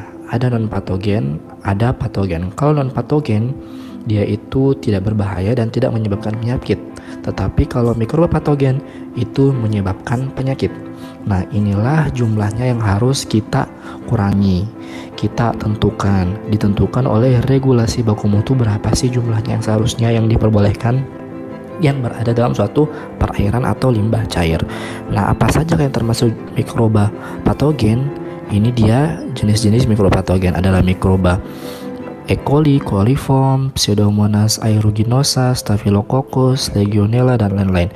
Nah, dalam suatu perairan itu maka jumlah mikroba ini harus kita kurangi dan kita hitung jumlahnya dengan melakukan pengujian secara mikrobiologi ya nah uh, seperti apa sih sebenarnya uh, bahayanya dari kalau misalkan limbah itu mengandung uh, banyak mikroba uh, seperti yang kita lihat dalam gambar ini, bakteri E. coli, bakteri coliform, dan Pseudomonas itu merupakan bakteri patogen. Apabila dia ada dalam satu perairan dan diminum, itu tentunya akan menyebabkan uh, gangguan pencernaan. Nah, biasanya bakteri-bakteri ini uh, karakteristiknya itu masuk dalam parameter uh, untuk uh, air kolam renang atau air minum. Tetapi kalau air limbah yang dikeluarkan industri itu tidak mencantumkan karakteristik biologi dari uh, berapa jumlah mikrobanya. Tetapi itu pada umumnya masuk pada uh, standar baku mutu khusus untuk air uh, kesehatan lingkungan dalam hal ini air kolam renang dan juga air minum. Misalkan pada Permenkes nomor 32 tahun 2017 itu mempersyaratkan sejumlah mikroba-mikroba ini harus dibatasi jumlahnya. Untuk air di kolam renang, bakteri E. coli itu tidak boleh lebih dari satu. Nah, itu satuannya adalah CFU per Nah, air minum pun juga seperti itu yang dipersyaratkan oleh Permenkes nomor 492. Kalau air minum itu harus lebih ketat lagi. Dalam hal ini, E. coli dan coliform itu harus nol. Nol, tidak boleh ada. Ya. Bayangkan kalau misalkan kita minum air itu ada bakteri E. coli atau bakteri coliformnya. Tentu akan mengganggu pencernaan dan e, berbahaya bagi kesehatan apabila bakteri ini ada dalam tubuh kita. Kenapa? Karena ini ada bakteri patogen. Nah, bagaimana sih cara menguji ada tidaknya bakteri atau menguji berapa kuantitas bakteri yang ada di dalam suatu limbah cair? Nah, itu dilakukanlah yang namanya pengujian mikrobiologi. Apa itu mikrobiologi? Mikrobiologi itu sendiri adalah sebuah cabang dari ilmu biologi yang mempelajari mikroorganisme. Nah, mikroorganisme itu apa saja? Ada bakteri, fungi, alga, mikroskopik, alga mikroskopik, uh, protozoa dan archaea. Nah, ini semua adalah jenis-jenis mikroba yang dipelajari dalam mikrobiologi dan pengujian mikrobiologi adalah pengujian yang dilakukan untuk mengetahui jumlah atau kuantitas dari suatu mikroorganisme yang terdapat dalam suatu sampel. Dalam hal ini adalah sampel air. Seperti yang kalian dalam gambar dalam gambar ini, untuk melakukan pengujian mikrobiologi itu dilakukan dalam uh, laboratorium khusus yakni laboratorium mikrobiologi. Dalam hal ini kampus kita di Politeknik Industri Logam Malwari belum memiliki laboratorium mikrobiologi karena fokus kita tidak dipusatkan pada bagian tersebut namun Asal sekadar kalian ketahui bahwasanya untuk mengetahui ada tidaknya karakteristik mikrobiologi dalam suatu sampel itu e, menggunakan laboratorium dengan standar prosedur yang berbeda dari uh, laboratorium yang biasanya. Dengan menggunakan peralatan-peralatan khusus yang biasanya. Karena akan ada bakteri yang akan kita tumbuhkan sehingga dengan otomatis salah satu protokol untuk masuk ke dalam laboratorium mikrobiologi adalah uh, laboran atau praktikan yang akan melakukan uh, pekerjaan di dalam laboratorium mikrobiologi harus dalam keadaan steril ya steril itu apa bebas dari mikroba Bagaimana caranya? Ada banyak upaya yang dapat dilakukan agar supaya kita steril. Salah satunya adalah yang selama ini kita lakukan di masa pandemi, selalu menyemprotkan disinfektan, selalu menggunakan hand sanitizer, mencuci tangan dengan alkohol, mencuci tangan dengan rutin. Nah, caranya bagaimana sih? Ini hanya cukup sederhana kalian ketahui karena ini tidak dilakukan pada praktikum. Nah, di sini apa yang harus kita lakukan? Jadi sebenarnya bakteri yang akan kita uji dari sampelnya itu kita harus tumbuhkan dia pada suatu media agar-agar ya. Nah, media agar pada cawan Petri. Ini semua terlebih dahulu disterilisasi, alatnya bahannya disterilkan menggunakan alat yang namanya autoclave. Autoclave ini adalah seperti tungku untuk memasak namun bekerja pada suhu tinggi dan tekanan yang tinggi. Karena tekanan yang tinggi itulah maka dia mampu menghilangkan atau mematikan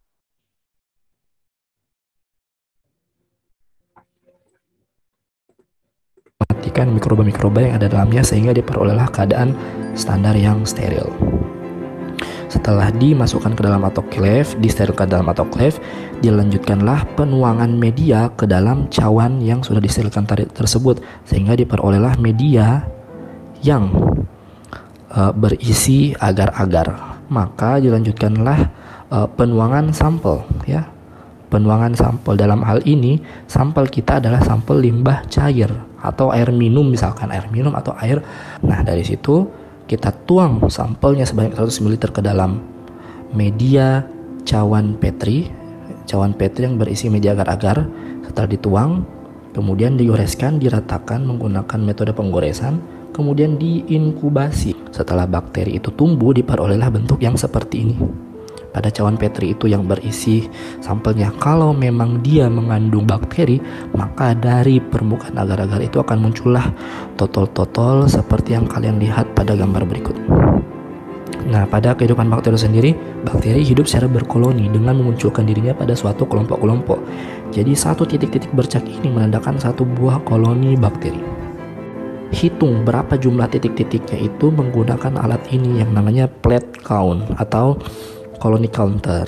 Nah, nanti diperoleh kuantitas bakterinya berapa menggunakan rumus dan diperolehlah hasilnya uh, jumlah bakteri pada satu sampel tersebut. Ya baik, saya kira itu saja untuk materi kita pada karakteristik limbah cair kali ini. Apabila ada pertanyaan silakan bertanya. Oke, okay, uh, eh,